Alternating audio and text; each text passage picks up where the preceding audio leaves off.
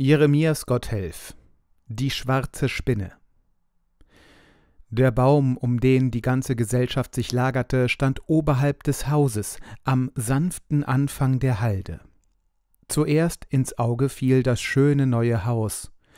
Über dasselbe weg konnten die Blicke schweifen an den jenseitigen Talesrand, über manchen schönen, reichen Hof und weiterhin über grüne Hügel und dunkle Täler weg. Du hast da ein stattliches Haus, und alles ist gut angegeben dabei, sagte der Vetter. Jetzt könnt ihr auch sein darin und habt Platz für alles. Ich konnte nie begreifen, wie man sich in einem so schlechten Haus so lange leiden kann, wenn man Geld und Holz genug zum Bauen hat, wie ihr zum Exempel. Vexier nicht, Vetter, sagte der Großvater. Es hat von beidem nichts zu rühmen. Dann ist das Bauen eine wüste Sache, man weiß wohl, wie man anfängt, aber nie, wie man aufhört. Und manchmal ist einem noch dies im Wege oder das, an jedem Orte etwas anders. Mir gefällt das Haus ganz ausnehmend wohl, sagte eine der Frauen. Wir sollten auch schon lange ein neues haben, aber wir scheuen immer die Kosten. Sobald mein Mann aber kommt, muss er dieses Recht besehen. Es dünkt mich, wenn wir so eins haben könnten, ich wäre im Himmel. Aber fragen möchte ich doch, nehmt es nicht für ungut, warum da gleich neben dem ersten Fenster der wüste, schwarze Fensterpfosten ist, der steht dem ganzen Hause übel an. Der Großvater machte ein bedenkliches Gesicht, zog noch härter an seiner Pfeife und sagte endlich, es hätte an Holz gefehlt beim Aufrichten. Kein anderes sei gleich bei der Hand gewesen, da habe man in Not und Eile einiges vom alten Hause genommen. Aber, sagte die Frau, das schwarze Stück Holz war ja noch dazu zu kurz. Oben und unten ist es angesetzt, und jeder Nachbar hätte euch von Herzen gerne ein ganz neues Stück gegeben. Ja, wir durften unsere Nachbarn nicht immer von neuem plagen. Sie hatten uns schon genug geholfen mit Holz und Fahren, antwortete der Alte. Hör, Etty, sagte der Vetter, mache nicht Schneckentänze, sondern gib die Wahrheit an und aufrichtigen Bericht. Schon manches habe ich raunen hören, aber punktum das Wahre nie vernehmen können. Jetzt schickte es sich so wohl, bis die Weiber den Braten Zweck haben, du würdest uns damit so kurze Zeit machen, darum gib aufrichtigen Bericht. Noch manchen Schneckentanz machte der Großvater, ehe er sich dazu verstund, aber der Vetter und die Weiber ließen nicht nach, bis er es endlich versprach, jedoch unter dem ausdrücklichen Vorbehalt, dass ihm dann lieber wäre, was er erzähle, bliebe unter ihnen und käme nicht weiter. So etwas scheuen gar viele Leute an einem Hause, und er möchte in seinen alten Tagen nicht gerne seinen Leuten böses Spiel machen. Allemal, wenn ich dieses Holz betrachte, begann der ehrwürdige Alte, so muss ich mich verwundern, wie das wohl zuging, dass aus dem fernen Morgenlande, wo das Menschengeschlecht entstanden sein soll, Menschen bis hierher kamen und diesen Winkel in diesem engen Tal fanden, und muss denken, was die, welche bis hierher verschlagen oder gedrängt wurden, alles ausgestanden haben werden, und wer sie wohl mögen gewesen sein, ich habe viel darüber nachgefragt, aber nichts erfahren können, als dass diese Gegend schon sehr früh bewohnt gewesen sei. Ja, Sumiswald noch ehe unser Heiland auf der Welt war, eine Stadt gewesen sein soll. Aber aufgeschrieben steht das nirgends. Doch das weiß man, dass es schon mehr als sechshundert Jahre her ist, dass das Schloss steht, wo jetzt das Spital ist und wahrscheinlich um dieselbe Zeit stund auch hier schon ein Haus und gehörte samt einem großen Teil der Umgegend zu dem Schlosse, musste dorthin Zehnten und Bodenzinse geben, Frondienste leisten. Ja, die Menschen waren Leibeigen und nicht eigenen Rechtens, wie jetzt jeder ist, sobald er zu Jahren kömmt. Gar ungleich hatten es damals die Menschen, und nahe beieinander wohnten Leibeigene, welche die besten Händel hatten und solche, die schwer, fast unerträglich gedrückt wurden, ihres Lebens nicht sicher waren. Ihr Zustand hing jeweilen von ihren Herren ab, die waren gar ungleich und doch fast unumschränkt Meister über ihre Leute, und diese fanden keinen, dem sie so leichtlich und wirksam klagen konnten. Die, welche zu diesem Schlosse gehörten, sollen es schlimmer gehabt haben, zu Zeiten als die meisten, welche zu anderen Schlössern gehörten. Die meisten anderen Schlösser gehörten einer Familie, kamen von dem Vater auf den Sohn, da kannten der Herr und seine Leute sich von Jugend auf, und gar mancher war seinen Leuten wie ein Vater. Dieses Schloss kam nämlich früher in die Hände von Rittern, die man die Teutschen nannte, und der, welcher hier zu befehlen hatte, den nannte man den Komtur. Diese Obern wechselten nun, und bald war einer da aus dem Sachsenland und bald einer aus dem Schwabenland. Da kam keine Anhänglichkeit auf, und ein jeder brachte Brauch und Art mit aus seinem Lande. Nun sollten sie eigentlich in Polen und im Preußenlande mit den Heiden streiten, und dort, obgleich sie eigentlich geistliche Ritter waren, gewöhnten sie sich fast an ein heidnisch Leben und gingen mit andern Menschen um, als ob kein Gott im Himmel wäre. Und wenn sie dann heimkamen, so meinten sie noch immer, sie seien im Heidenland und trieben das gleiche Leben fort. Denn die, welche lieber im Schatten lustig leben, als im wüsten Lande blutig stritten, oder die, welche ihre Wunden heilen, ihren Leib stärken mussten, kamen auf die Güter, welche der Orden, so soll man die Gesellschaft der Ritter genannt haben, in Deutschland und in der Schweiz besaß, und taten jeder nach seiner Art und was ihm wohlgefiel. Einer der wüstesten soll der Hans von Stoffeln gewesen sein aus dem Schwabenlande, und unter ihm soll es sich zugetragen haben, was ihr von mir wissen wollt und was sich bei uns vom Vater auf den Sohn vererbet hat. Diesem Hans von Stoffeln fiel es bei, dort hinten auf dem Berhegenhügel ein großes Schloss zu bauen. Dort, wo man noch jetzt, wenn es wild Wetter geben will, die Schlossgeister ihre Schätze sonnen sieht, stand das Schloss. Sonst bauten die Ritter ihre Schlösser über den Straßen, wie man jetzt die Wirtshäuser an die Straßen baut, beides um die Leute besser plündern zu können, auf verschiedene Weise freilich. Warum aber der Ritter dort auf dem wilden, wüsten Hügel in der Einöde ein Schloss haben wollte, wissen wir nicht. Genug, er wollte es, und die Bauern, welche zum Schlosse gehörten, mussten es bauen. Der Ritter fragte nach keinem von der Jahreszeit gebotenem Werk, nicht nach dem Heuet, nicht nach der Ernte, nicht nach dem Seet. So und so viel Gespanne mussten fahren, so und so viel Hände mussten arbeiten, zu der und der Zeit sollte der letzte Ziegel gedeckt, der letzte Nagel geschlagen sein. Dazu schenkte er keine Zehntgabe, kein Mäßbodenzins, kein Fastnachtshuhn, ja nicht einmal ein Fastnachtsei. Barmherzigkeit kannte er keine, die Bedürfnisse armer Leute kannte er nicht. Er ermunterte sie auf heidnische Weise mit Schlägen und Schimpfen, und wenn einer müde wurde, langsamer sich rührte oder gar ruhen wollte, so war der Vogt hinter ihm mit der Peitsche, und weder Alter noch Schwachheit ward verschont. Wenn die wilden Ritter oben waren, so hatten sie ihre Freude daran, wenn die Peitsche recht knallte, und sonst trieben sie noch manchen Schabernack mit den Arbeitern. Wenn sie ihre Arbeit mutwillig verdoppeln konnten, so sparten sie es nicht und hatten dann große Freude an ihrer Angst, an ihrem Schweiß. Endlich war das Schloss fertig. Fünf Ellen dick die Mauern. Niemand wusste, warum es dort oben stand, aber die Bauern waren froh, dass es einmal stand, wenn es doch stehen musste, der letzte Nagel geschlagen, der letzte Ziegel oben war. Sie wischten sich den Schweiß von den Stirnen, sahen mit betrübtem Herzen sich um in ihrem Besitztum, sahen seufzend, wie weit der unselige Bau sie zurückgebracht. Aber war doch ein langer Sommer vor ihnen und Gott über ihnen, darum fassten sie Mut und kräftig den Flug und trösteten Weib und Kind, die schweren Hunger gelitten und denen Arbeit eine neue Pein schien. Aber kaum hatten sie den Flug ins Feld geführt, so kam Botschaft, dass alle Hofbauern eines Abends zur bestimmten Stunde im Schlosse zu Sumiswald sich einfinden sollten. Sie bangten und hofften.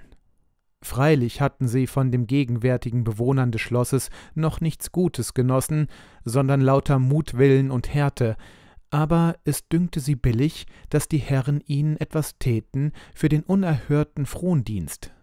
Und weil es sie so dünkte, so meinten viele, es dünke die Herren auch so, und sie werden am selben Abend ihnen ein Geschenk machen oder einen Nachlass verkünden wollen. Sie fanden sich am bestimmten Abend zeitig und mit klopfendem Herzen ein, mussten aber lange warten im Schlosshofe, den Knechten zum Gespött. Die Knechte waren auch im Heidenlande gewesen, zudem wird es gewesen sein wie jetzt, wo jedes halbbatzige Herrenknechtlein das Recht zu haben meint, gesessene Bauern verachten zu können und verhöhnen zu dürfen. Endlich wurden sie in den Rittersaal entboten. Vor ihnen öffnete sich die schwere Türe. Drinnen saßen um den schweren Eichentisch die schwarzbraunen Ritter, wilde Hunde zu ihren Füßen, und obenan der von Stoffeln, ein wilder, mächtiger Mann, der einen Kopf hatte wie ein doppelt Bernmäß, Augen machte wie Flugräder und einen Bart hatte wie eine alte Löwenmähne.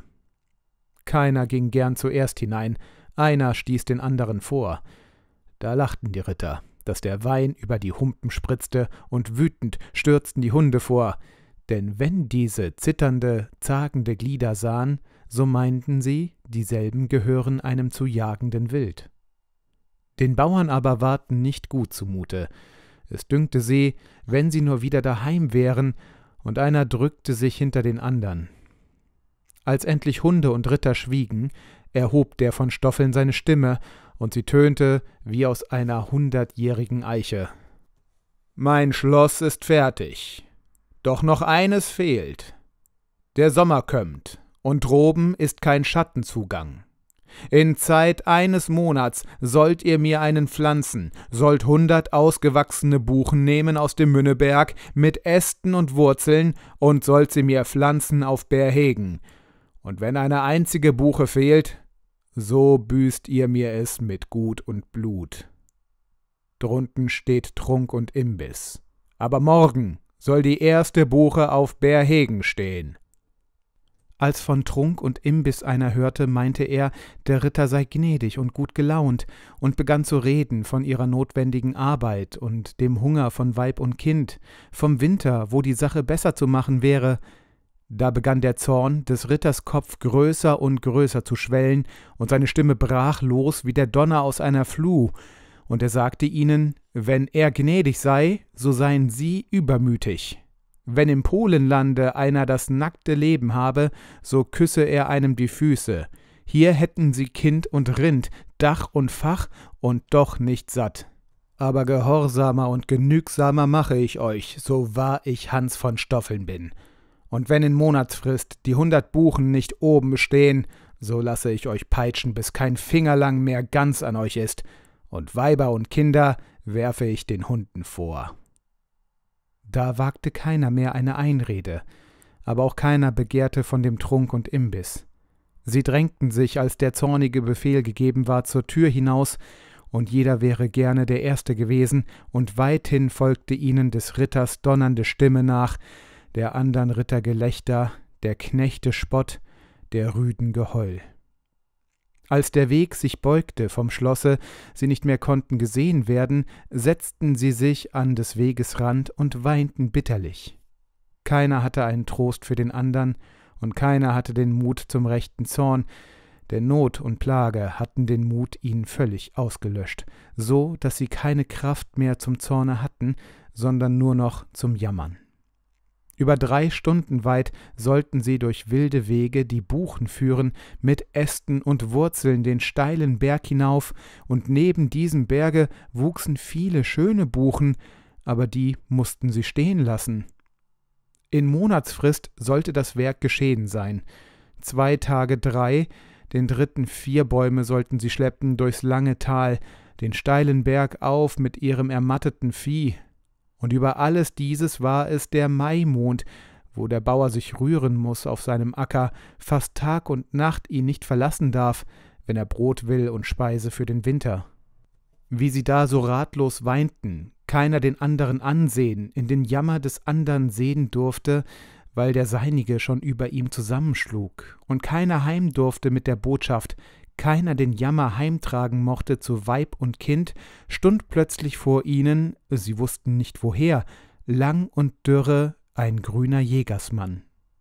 Auf dem kecken Barett schwankte eine rote Feder, im schwarzen Gesicht flammte ein rotes Bärtchen, und zwischen der gebogenen Nase und dem zugespitzten Kinn, fast unsichtbar wie eine Höhle unter überhängendem Gestein, öffnete sich ein Mund und frug Was gibt es, ihr guten Leute, dass ihr da sitzet und heulet, dass es Steine aus dem Boden sprengt und Äste ab den Bäumen? Zweimal frug er und erhielt keine Antwort. Da ward noch schwärzer des grünen Schwarzgesicht, noch röter das rote Bärtchen, es schien darin zu knistern und zu spretzeln wie Feuer im Tannenholz. Wie ein Pfeil spitzte sich der Mund, dann tat er sich auseinander und frug ganz holdselig und mild Aber ihr guten Leute, was hilft es euch, dass ihr da sitzet und heulet?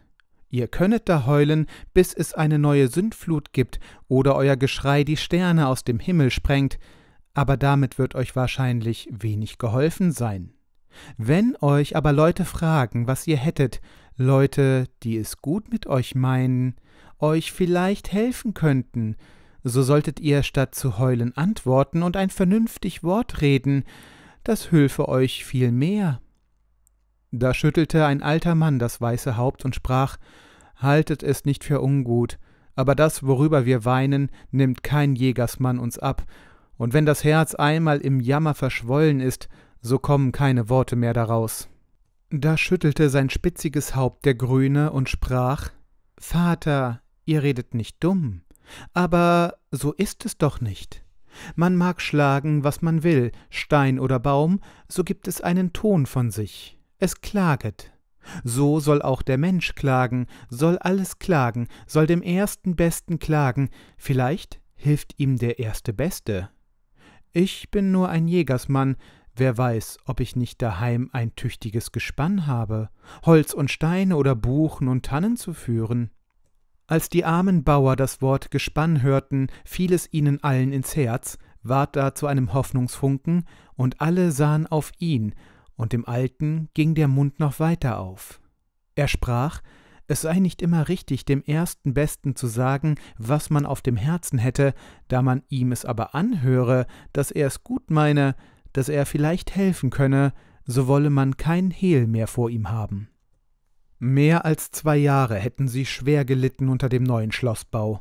Kein Hauswesen sei in der ganzen Herrschaft, welches nicht bitterlich im Mangel sei, Jetzt hätten sie frisch aufgeatmet, in der Meinung, endlich freie Hände zu haben zur eigenen Arbeit, hätten mit neuem Mut den Flug ins Feld geführt, und soeben hätte der Komtor ihnen befohlen, aus im Münneberg gewachsenen Buchen in Monatsfrist beim neuen Schloss einen neuen Schattengang zu pflanzen.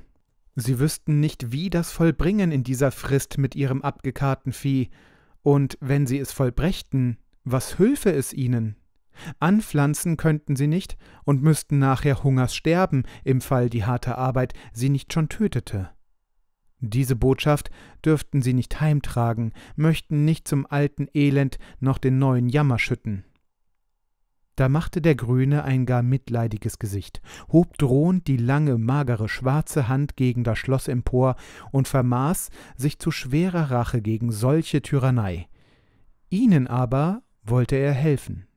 Sein Gespann, wie keines sei im Lande, solle diesseits Sumiswald ihnen alle Buchen, so viele sie dorthin zu bringen vermöchten, auf Berhegen führen, ihnen zulieb, den Rittern zum Trotz und um geringen Lohn. Da horchten hoch auf die armen Männer bei diesem unerwarteten Anerbieten. Konnten sie um den Lohn einig werden, so waren sie gerettet, denn bis an den Kirchstalden konnten sie die Buchen führen, ohne dass ihre Landarbeit darunter versäumt und sie zugrunde gingen.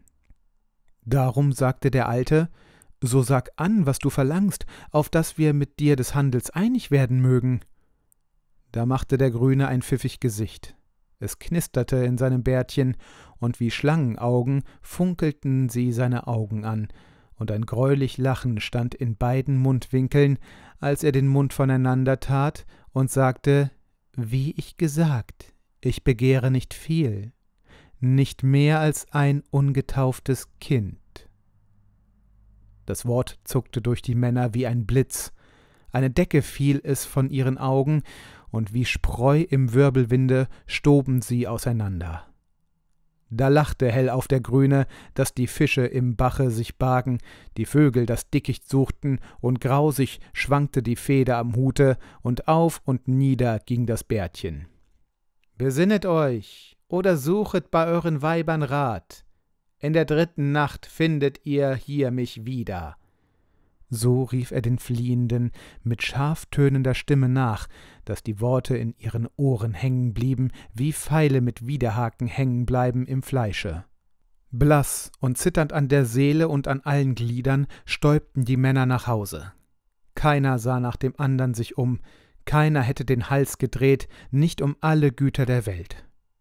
Als so verstört die Männer dahergestoben kamen, wie Tauben vom Vogel gejagt zum Taubenschlage, da drang mit ihnen der Schrecken in alle Häuser, und alle bebten vor der Kunde, welche den Männern die Glieder also durcheinander warf. In zitternder Neugierde schlichen die Weiber den Männern nach, bis sie dieselben an den Orten hatten, wo man im Stillen ein vertraut Wort reden konnte. Da musste jeder Mann seinem Weibe erzählen, was sie im Schlosse vernommen. Das hörten sie mit Wut und Fluch, Sie mussten erzählen, wer ihnen begegnet, was er ihnen angetragen. Da ergriff namenlose Angst die Weiber. Ein Wehgeschrei ertönte über Berg und Tal. Einer jeden ward, als hätte ihr eigen Kind der Ruchlose begehrt. Ein einziges Weib schrie nicht den andern gleich. Das war ein grausam, handliches Weib. Eine Lindauerin soll es gewesen sein, und hier auf dem Hofe hat es gewohnt.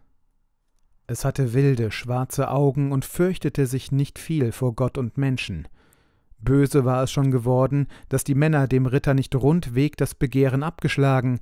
Wenn es dabei gewesen, es hätte ihm sagen wollen, sagte es. Als sie vom Grünen hörte und seinem Antrage, und wie die Männer davongestoben, da ward sie erst recht böse und schalt die Männer über ihre Feigheit, und dass sie dem Grünen nicht kecker ins Gesicht gesehen, Vielleicht hätte er mit einem andern Lohne sich auch begnügt, und da die Arbeit für das Schloss sei, würde es ihren Seelen nicht schaden, wenn der Teufel sie mache. Sie ergrimmte in der Seele, dass sie nicht dabei gewesen, und wäre es nur, damit sie einmal den Teufel gesehen und auch wüsste, was er für ein Aussehen hätte. Darum weinte dieses Weib nicht, sondern redete in seinem Grimme harte Worte gegen den eigenen Mann und gegen alle anderen Männer. Des folgenden Tages, als in stilles Gewimmer das Wehgeschrei verglommen war, saßen die Männer zusammen, suchten Rat und fanden keinen. Anfangs war die Rede von neuen Bitten bei dem Ritter, aber niemand wollte bitten gehen, keinem schien Leib und Leben feil. Einer wollte Weiber und Kinder schicken mit Geheul und Jammer, der aber verstummte schnell, als die Weiber zu reden begannen, denn schon damals waren die Weiber in der Nähe, wenn die Männer im Rate saßen. Sie wussten keinen Rat, als in Gottes Namen Gehorsam zu versuchen. Sie wollten Messen lesen lassen, um Gottes Beistand zu gewinnen, wollten Nachbarn um nächtliche geheime Hilfe ansprechen, denn eine offenbare hätten ihnen ihre Herren nicht erlaubt, wollten sich teilen, die Hälfte sollte bei den Buchen schaffen, die andere Hälfte Haber sehen und des Viehes warten. Sie hofften auf diese Weise und mit Gottes Hilfe täglich wenigstens drei Buchen auf Berhegen hinaufzuschaffen. Vom Grünen redete niemand. Ob niemand an ihn dachte, ist nicht verzeichnet worden. Sie teilten sich ein, rüsteten die Werkzeuge, und als der erste Maitag über seine Schwelle kam, sammelten die Männer sich am Münneberg und begannen mit gefasstem Mute die Arbeit. In weitem Ringe mussten die Buchen umgraben, sorgfältig die Wurzeln geschont, sorgfältig die Bäume, damit sie sich nicht verletzten, zur Erde gelassen werden. Noch war der Morgen nicht hoch am Himmel, als drei zur Abfahrt bereit lagen, denn immer drei sollten zusammengeführt werden, damit man auf dem schweren Weg mit Hand und Vieh sich gegenseitig helfen könne. Aber schon stand die Sonne am Mittag, und noch waren sie mit den drei Buchen nicht zum Walde hinaus. Schon stand sie hinter den Bergen, und noch waren sie nicht über Sumiswald hinaus. Erst der neue Morgen fand sie am Fuße des Berges, auf dem das Schloss stand, und die Buchen sollten gepflanzet werden. Ein Missgeschick nach dem anderen traf sie. Die Geschirre zerrissen, die Wagen brachen, Pferde und Ochsen fielen oder weigerten den Gehorsam. Noch ärger ging es am zweiten Tage. Neue Not brachte immerfort neue Mühe, unter rastloser Arbeit keuchten die Armen, und keine Buche war noch oben, keine Buche über Sumiswald hinausgeschafft. Der von Stoffeln schalt und fluchte. Je mehr er schalt und fluchte, umso größer war der Unstern, umso störrischer das Vieh. Die anderen Ritter lachten und höhnten und freuten sich gar sehr über das Zappeln der Bauern, den Zorn des von Stoffeln. Sie hatten gelacht über des von Stoffeln neues Schloss auf dem nackten Gipfel. Da hatte er geschworen, in Monatsfrist müsste ein schöner Laubgang droben sein. Darum fluchte er, darum lachten die Ritter und weinten die Bauern. Eine fürchterliche Mutlosigkeit erfasste diese. Keinen Wagen hatten sie mehr ganz, keinen Zug unbeschädigt, in zwei Tagen nicht drei Buchen zur Stelle gebracht, und alle Kraft war erschöpft. Nacht war es geworden. Schwarze Wolken stiegen auf. Es blitzte zum ersten Male in diesem Jahre. An den Weg hatten sich die Männer gesetzt. Es war die gleiche Beugung des Weges, in welcher sie vor drei Tagen gesessen waren, sie wussten es aber nicht. Da saß der Hornbachbauer, der Lindauerin Mann, mit zwei Knechten, und andere mehr saßen auch bei ihnen. Sie wollten da auf Buchen warten, die von Sumiswald kommen sollten, wollten ungestört sinnen über ihr Elend, wollten ruhen lassen ihre zerschlagenen Glieder. Da kam rasch ein Weib daher, einen großen Korb auf dem Kopfe.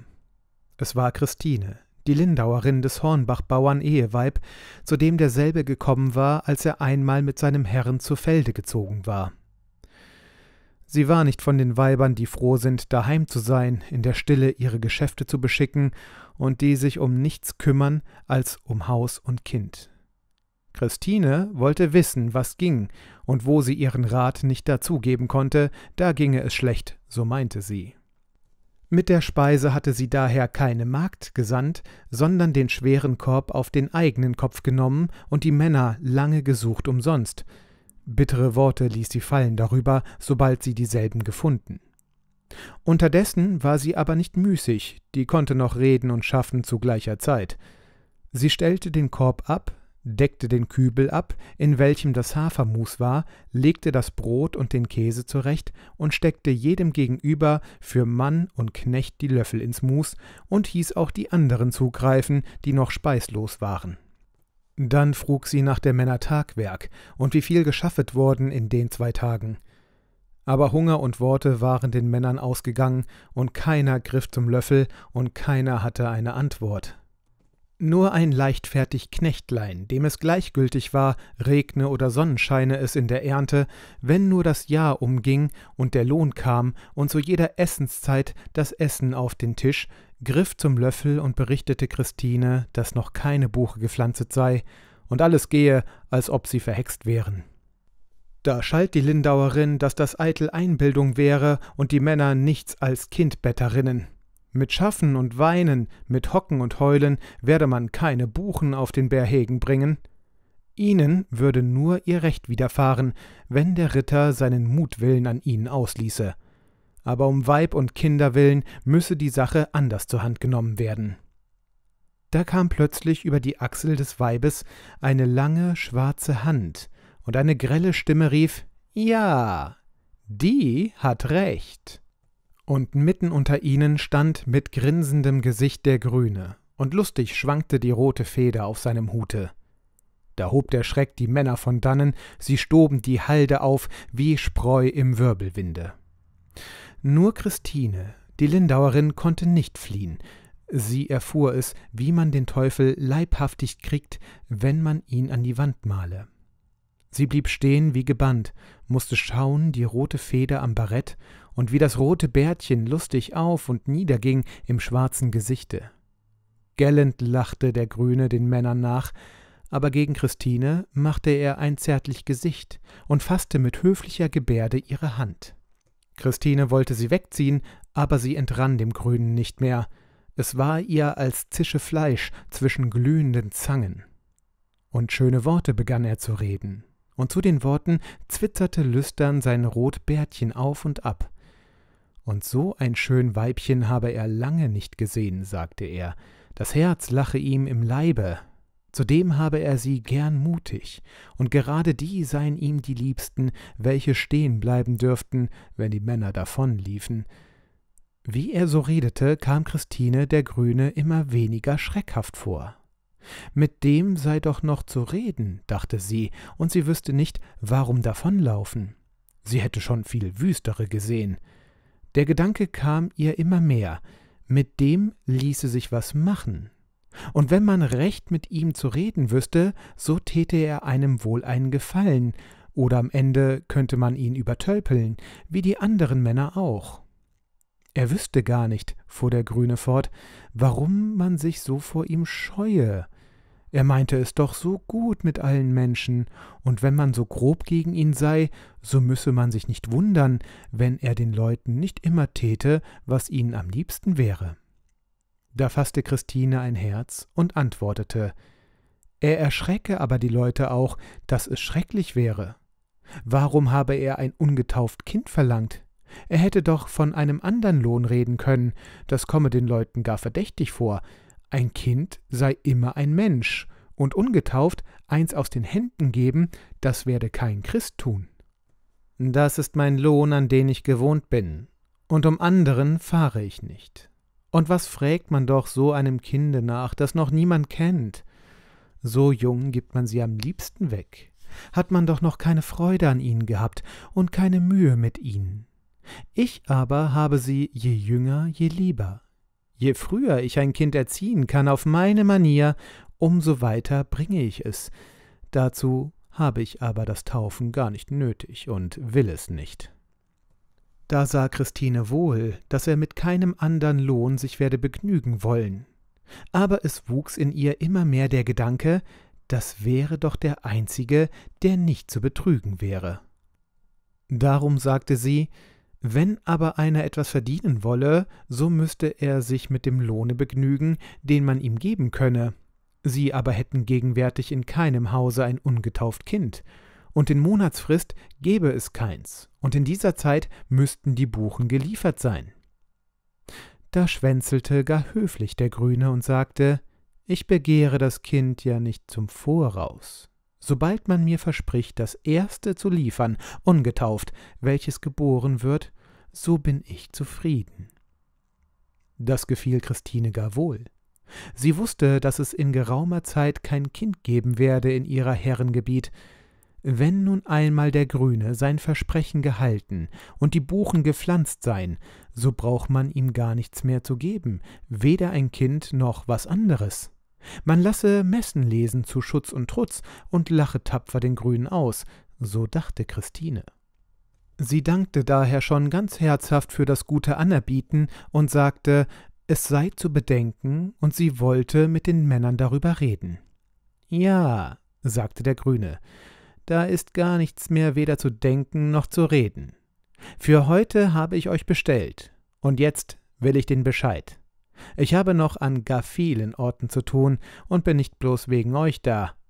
Du musst mir zu oder absagen. Nachher will ich von dem ganzen Handel nichts mehr wissen.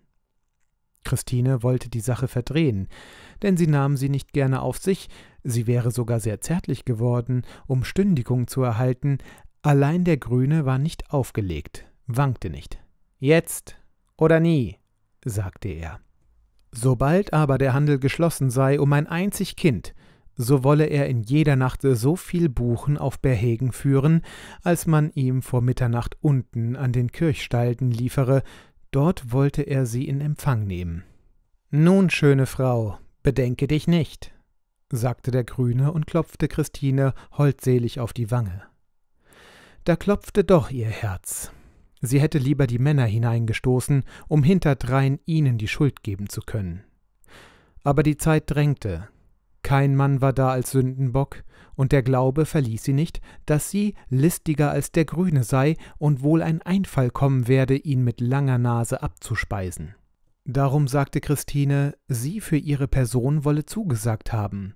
Wenn aber dann später die Männer nicht wollten, so vermöchte sie dessen nicht, und er solle es sie nicht entgelten lassen. Mit dem Versprechen zu tun, was sie könne, sei er hinlänglich zufrieden, sagte der Grüne.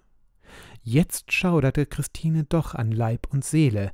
Jetzt meinte sie, komme der schreckliche Augenblick, wo sie mit ihrem Blute dem Grünen den Akkord unterschreiben müsse. Aber der Grüne machte es viel leichter und sagte, von hübschen Weibern begehre er nie eine Unterschrift. Mit einem Kuss sei er zufrieden. Somit spitzte er seinen Mund gegen Christines Gesicht, und Christine konnte nicht fliehen, war wiederum wie gebannt, steif und starr. Da berührte der spitzige Mund Christines Gesicht, und ihr war, als ob von spitzigem Eisen aus Feuer durch Mark und Bein fahre, durch Leib und Seele, und ein gelber Blitz fuhr zwischen ihnen durch und zeigte Christine freudig verzerrt des grünen teuflisch Gesicht, und ein Donner fuhr über sie, als ob der Himmel zersprungen wäre. Verschwunden war der Grüne, und Christine stand wie versteinert, als ob tief in den Boden hinunter ihre Füße Wurzeln getrieben hätten in jenem schrecklichen Augenblicke. Endlich war sie ihrer Glieder wieder mächtig, aber im Gemüte brauste und sauste es ihr, als ob ein mächtiges Wasser seine Fluten wälze, über turmhohe Felsen hinunter in schwarzen Schlund. Wie man im Donner der Wasser die eigene Stimme nicht hört, so ward Christine der eigenen Gedanken sich nicht bewusst im Tosen, das donnerte in ihrem Gemüte. Unwillkürlich floh sie den Berg hinan, und immer glühender fühlte sie ein Brennen an ihrer Wange, da, wo des grünen Mund sie berührt. Sie rieb, sie wusch, aber der Brand nahm nicht ab. Es ward eine wilde Nacht. In Lüften und Klüften heulte und toste es, als ob die Geister der Nacht Hochzeit hielten in den schwarzen Wolken. Die Winde, die wilden Reigen spielten zu ihrem grausen Tanze, die Blitze, die Hochzeitsfackeln wären, und der Donner, der Hochzeitssegen. In finsterem Bergestale regte es sich um ein großes Haus, und viele drängten sich um sein schimmernd Obdach. Sonst treibt im Gewittersturm die Angst um den eigenen Herd den Landmann unter das eigene Dach, und sorgsam wachend, solange das Gewitter am Himmel steht, wahret und hütet er das eigene Haus. Aber jetzt war die gemeinsame Not größer als die Angst vor dem Gewitter. Diese trieb sie in diesem Hause zusammen, an welchem vorbeigehen mussten die, welche der Sturm aus dem Münneberg trieb, und die, welche von Bärhegen sich geflüchtet. Den Graus der Nacht, ob dem eigenen Elend vergessend, hörte man sie klagen und grollen über ihr Missgeschick. Zu allem Unglück war noch das Toben der Natur gekommen. Pferde und Ochsen waren scheu geworden, betäubt, hatten Wagen zertrümmert, sich über Felsen gestürzt. Und schwer verwundet stöhnte mancher in tiefem Schmerze, laut auf schrie mancher, dem man zerrissene Glieder einzog und zusammenband. In das Elend hinein flüchteten sich auch in schauerlicher Angst die, welche den Grünen gesehen, und erzählten bebend die wiederholte Erscheinung. Bebend hörte die Menge, was die Männer erzählten, drängten sich aus dem weiten, dunklen Raume dem Feuer zu, um welches die Männer saßen, und wenn der Wind durch die Sparren fuhr oder Donner über dem Hause rollte, so schrie laut auf die Menge und meinte, es breche durchs Dach der Grüne, sich zu zeigen in ihrer Mitte. Als er aber nicht kam, als der Schreck vor ihm verging, als das alte Elend blieb und der Jammer der Leidenden lauter wurde, da stiegen allmählich die Gedanken auf, die den Menschen, der in der Not ist, so gerne um seine Seele bringen. Sie begannen zu rechnen, wie viel mehr wert sie alle seien als ein einzig ungetauft Kind. Sie vergaßen immer mehr, dass die Schuld an einer Seele tausendmal schwerer wiege als die Rettung von tausend und abermal tausend Menschenleben. Diese Gedanken wurden allmählich laut und begannen sich zu mischen als verständliche Worte in das Schmerzensgestöhn der Leidenden. Man fragte näher nach dem Grünen, grollte, dass man ihm nicht besser Rede gestanden, genommen hätte er niemand, und je weniger man ihn fürchte, umso weniger tue er den Menschen. Dem ganzen Tale hätten sie vielleicht helfen können, wenn sie das Herz am rechten Orte gehabt hätten. Da begannen die Männer sich zu entschuldigen. Sie sagten nicht, dass es sich mit dem Teufel nicht spaßen lasse, dass wer ihm ein Ohr leihe, bald den ganzen Kopf ihm geben müsse, sondern sie redeten von des Grünen schrecklicher Gestalt, seinem Flammenbarte, der feurigen Feder auf seinem Hute einem Schlossturme gleich und dem schrecklichen Schwefelgeruch, den sie nicht hätten ertragen mögen. Christines Mann aber, der gewöhnt worden war, dass sein Wort erst durch die Zustimmung seiner Frau Kraft erhielt, sagte, sie sollten nur seine Frau fragen. Die könne ihnen sagen, ob es jemand hätte aushalten mögen, und dass die ein mutiges Weib sei, wüssten alle. Da sahen alle nach Christine sich um, aber keiner sah sie. Es hatte jeder nur an seine eigene Rettung gedacht und an andere nicht. Und wie jetzt jeder im Trockenen saß, so meinte er, die anderen säßen ebenso. Jetzt erst fiel allen bei, dass sie Christine seit jenem schrecklichen Augenblick nicht mehr gesehen, und ins Haus war sie nicht gekommen. Da begann der Mann zu jammern, und alle anderen mit ihm, denn es ward ihnen allen, als ob Christine allein zu helfen wüsste. Plötzlich ging die Tür auf, und Christine stand mitten unter ihnen, ihre Haare trieften, rot waren die Wangen, und ihre Augen brannten, noch dunkler als sonst in unheimlichen Feuer. Eine Teilnahme, deren Christine sonst nicht gewohnt war, empfing sie, und jeder wollte ihr erzählen, was man gedacht und gesagt und wie man Kummer um sie gehabt. Christine sah bald, was alles zu bedeuten hatte, und verbarg ihre innere Glut hinter spöttischen Worten, warf den Männern ihre übereilte Flucht vor, und wie keiner um ein arm Weib sich bekümmert und keiner sich umgesehen, was der Grüne mit ihr beginne. Da brach der Sturm der Neugierde aus, und jeder wollte zuerst wissen, was nun der Grüne mit ihr angefangen, und die Hintersten hoben sich hoch auf, um besser zu hören und die Frau näher zu sehen, die dem Grünen so nahe gestanden. Sie sollte nichts sagen, meinte Christine zuerst. Man hätte es nicht um sie verdient als Fremde sie übel geplaget im Tale, die Weiber ihr einen üblen Namen angehängt, die Männer sie allenthalben im Stich gelassen, und wenn sie nicht besser gesinnet wäre als alle, und wenn sie nicht mehr Mut als alle hätte, so wäre noch jetzt weder Trost noch Ausweg da. So redete Christine noch lange, warf harte Worte gegen die Weiber, die ihr nie hätten glauben wollen, dass der Bodensee größer sei als der Schlossteich, und je mehr man ihr anhielt, umso härter schien sie zu werden und stützte sich besonders darauf, dass, was sie zu sagen hätte, man ihr übel auslegen und, wenn die Sache gut käme, ihr keinen Dank haben werde. Käme sie aber übel, so lüde man ihr alle Schuld auf und die ganze Verantwortung. Als endlich die ganze Versammlung vor Christine wie auf den Knien lag mit Bitten und Flehen und die Verwundeten laut aufschrien und anhielten, da schien Christine zu erweichen und begann zu erzählen, wie sie standgehalten und mit dem Grünen Abrede getroffen.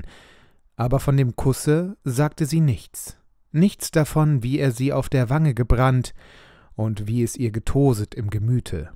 Aber sie erzählte, was sie seither gesinnet im verschlagenen Gemüte. Das Wichtigste sei, dass die Buchen nach Bärhegen geschafft würden. Seien sie einmal oben, so könne man immer noch sehen, was man machen wolle, die Hauptsache sei, dass bis dahin, so viel ihr bekannt, unter ihnen kein Kind werde geboren werden. Vielen lief es kalt den Rücken auf bei der Erzählung. Aber dass man dann noch immer sehen könne, was man machen wolle, das gefiel allen wohl. Nur ein junges Weibchen weinte gar bitterlich, dass man unter seinen Augen die Hände hätte waschen können, aber sagen tat es nichts. Ein altehrwürdig Weib dagegen, hochgestaltet und mit einem Gesichte, vor dem man sonst sich beugen oder vor ihm fliehen musste, trat in die Mitte und sprach Gott vergessen wäre es gehandelt, auf das Ungewisse das Gewisse stellen und spielen mit dem ewigen Leben. Wer mit dem Bösen sich einlasse, komme vom Bösen nimmer los. Und wer ihm den Finger gebe, den behalte er mit Leib und Seele. Aus diesem Elend könne niemand helfen als Gott, wer ihn aber verlasse in der Not, der versinke in der Not. Aber diesmal verachtete man der alten Rede, und schweigen hieß man das junge Weibchen, mit Weinen und Heulen sei einem diesmal nicht geholfen, da bedürfe man Hülfe anderer Art, hieß es. Rätig wurde man bald, die Sache zu versuchen. Bös könne das kaum gehen im bösesten Fall, aber nicht das erste Mal sei es, dass Menschen die schlimmsten Geister betrogen, und wenn sie selbst nichts wüssten, so fände wohl ein Priester Rat und Ausweg. Aber in finsterem Gemüte soll mancher gedacht haben, wie er später bekannte, gar viel Geld und Umtriebe wage er nicht eines ungetauften Kindes wegen. Als der Rat nach Christines Sinn gefasst wurde, da war es, als ob alle Wirbelwinde über dem Hause zusammenstießen, die Heere der wilden Jäger vorübersausten, die Pfosten des Hauses wankten, die Balken bogen sich, Bäume splitterten am Hause wie Speere auf einer Ritterbrust. Blass wurden drin die Menschen, Grauen überfiel sie, aber den Rat lösten sie nicht. Bei grauendem Morgen begannen sie eine Ausführung. Schön und hell war der Morgen, Gewitter und Hexenwerke verschwunden, die Äxte hieben noch einmal so scharf wie sonst, der Boden war locker, und jede Buche fiel gerade, wie man sie haben wollte. Kein Wagen brach mehr, das Vieh war willig und stark, und die Menschen geschützt vor jedem Unfall wie durch unsichtbare Hand. Nur eines war sonderbar. Unterhalb Sumiswald führte damals noch kein Weg ins hintere Tal oder war noch Sumpf, den die zügellose Grüne bewässerte. Man musste den Stalden auf durchs Dorf fahren, an der Kirche vorbei. Sie fuhren wie an den früheren Tagen immer drei Gespanne auf einmal, um einander helfen zu können mit Rad, Kraft und Vieh, und hatten nun nur durch Sumiswald zu fahren, außerhalb des Dorfes den Kirchstalden ab, an dem eine kleine Kapelle stand. Unterhalb desselben, auf ebenem Wege, hatten sie die Buchen abzulegen. Sobald sie den Stalden auf waren und auf ebenem Weg gegen die Kirche kamen, so ward das Gewicht der Wagen nicht leichter, sondern schwerer und schwerer. Sie mussten Tiere vorspannen, so viele sie deren hatten, mussten unmenschlich auf sie schlagen, mussten selbst Hand an die Speichen legen, dazu scheuten die sanftesten Rosse, als ob etwas Unsichtbares vom Kirchhofe her ihnen im Wege stehe, und ein dumpfer Glockenton, fast wie der verirrte Schall einer Totenglocke, kam von der Kirche her, dass ein eigentümlich Grauen die stärksten Männer ergriff und jedes Mal Menschen und Tiere bebten, wenn man gegen die Kirche kam. War man einmal vorbei, so konnte man ruhig fahren, ruhig abladen, ruhig zu frischer Ladung wieder gehen. Sechs Buchen lud man am selbigen Tag nebeneinander ab an die abgeredete Stelle. Sechs Buchen waren am Folgenmorgen zu Berhegen oben gepflanzet, und durchs ganze Tal hin hatte niemand eine Achse gehört, die sich umgedreht um ihre Spule, niemand der Fuhrleute üblich Geschrei der Pferde wiehern, der Ochsen einförmig Gebrüll. Aber sechs Buchen standen oben. Die konnte sehen, wer wollte. Und es waren die sechs Buchen, die man unten an dem Stalden hingelegt hatte, und nicht andere. Da war das Staunen groß im ganzen Tale, und die Neugierde regte sich bei männiglich. Absonderlich die Ritter nahm es Wunder, welche Pacht die Bauern geschlossen und auf welche Weise die Buchen zur Stelle geschafft würden. Sie hätten gerne auf heidnische Weise den Bauern das Geheimnis ausgepresst. Allein sie sahen bald, dass die Bauern auch nicht alles wüssten, da sie selbst halb erschrocken waren. Zudem wehrte der von Stoffeln. Dem war es nicht nur gleichgültig, wie die Buchen nach Berhegen kamen, im Gegenteil, wenn nur die Buchen heraufkamen, so sah er es gerne, dass die Bauern dabei geschont wurden. Er hatte wohl gesehen, dass der Spott der Ritter ihn zu einer Unbesonnenheit verleitet hatte, denn wenn die Bauern zugrunde gingen, die Felder unbestellt blieben, so hatte die Herrschaft den größten Schaden dabei. Allein, was der von Stoffeln einmal gesagt hatte, Dabei blieb es. Die Erleichterung, welche die Bauern sich verschafft, war ihm daher ganz recht und ganz gleichgültig, ob sie dafür ihre Seelen verschrieben, denn was gingen ihn, der Bauern, Seelen an, wenn einmal der Tod ihre Leiber genommen? Er lachte jetzt über seine Ritter und schützte die Bauern vor ihrem Mutwillen. Diese wollten den Handel doch ergründen und sandten Knappen zur Wache. Die fand man des Morgens halbtot in Gräben, wohin eine unsichtbare Hand sie geschleudert. Da zogen zwei Ritter hin auf Berhegen. Es waren kühne Degen, und wo ein Wagnis zu bestehen gewesen im Heidenland, da hatten sie es bestanden. Am Morgen fand man sie erstarrt am Boden, und als sie der Rede wieder mächtig waren, sagten sie, ein roter Ritter mit feuriger Lanze hätte sie niedergerannt. Hier und da konnte eine neugierige Weibsseele sich nicht enthalten, wenn es Mitternacht war, durch eine Spalte oder Luke nach dem Wege im Tale zu sehen. Alsbald wehete ein giftiger Wind sie an. Das Gesicht schwoll auf, wochenlang konnte man weder Nase noch Auge sehen, den Mund mit Mühe finden. Da verging den Leuten das Spähen, kein Auge sah mehr zu Tale, wenn Mitternacht über demselben lag. Einmal aber kam einen Mann plötzlich das Sterben an. Er bedurfte des letzten Trostes, aber niemand durfte den Priester holen, denn Mitternacht war nahe und der Weg führte am Kirchstalden vorbei. Da lief ein unschuldig Bübchen, Gott und Menschen lieb, aus Angst um den Vater ungeheißen Sumiswald zu. Als er gegen den Kirchstalden kam, sah er von dort die Buchen auffahren, vom Boden, jede von zwei feurigen Eichhörnchen gezogen, und nebenbei sah er reiten auf schwarzem Bocke einen grünen Mann, eine feurige Geißel hatte er in der Hand, einen feurigen Barte im Gesichte, und auf dem Hute schwankte glutrot eine Feder. So sei der Zug gefahren, hoch durch die Lüfte und schnell wie ein Augenblick. Solches sah der Knabe, und niemand tat ihm was. Noch waren nicht drei Wochen vergangen, so stunden neunzig Buchen auf Berhegen, machten einen schönen Schattengang, denn alle schlugen üppig aus, keine einzige verdorrte. Aber die Ritter und auch der von Stoffeln ergingen sich nicht oft darin. Es wehte sie allemal ein heimlich Grauen an. Sie hätten von der Sache lieber nichts mehr gewusst, aber keiner machte ihr ein Ende. Es tröstete ein jeder sich, fehle es, so trage der andere die Schuld.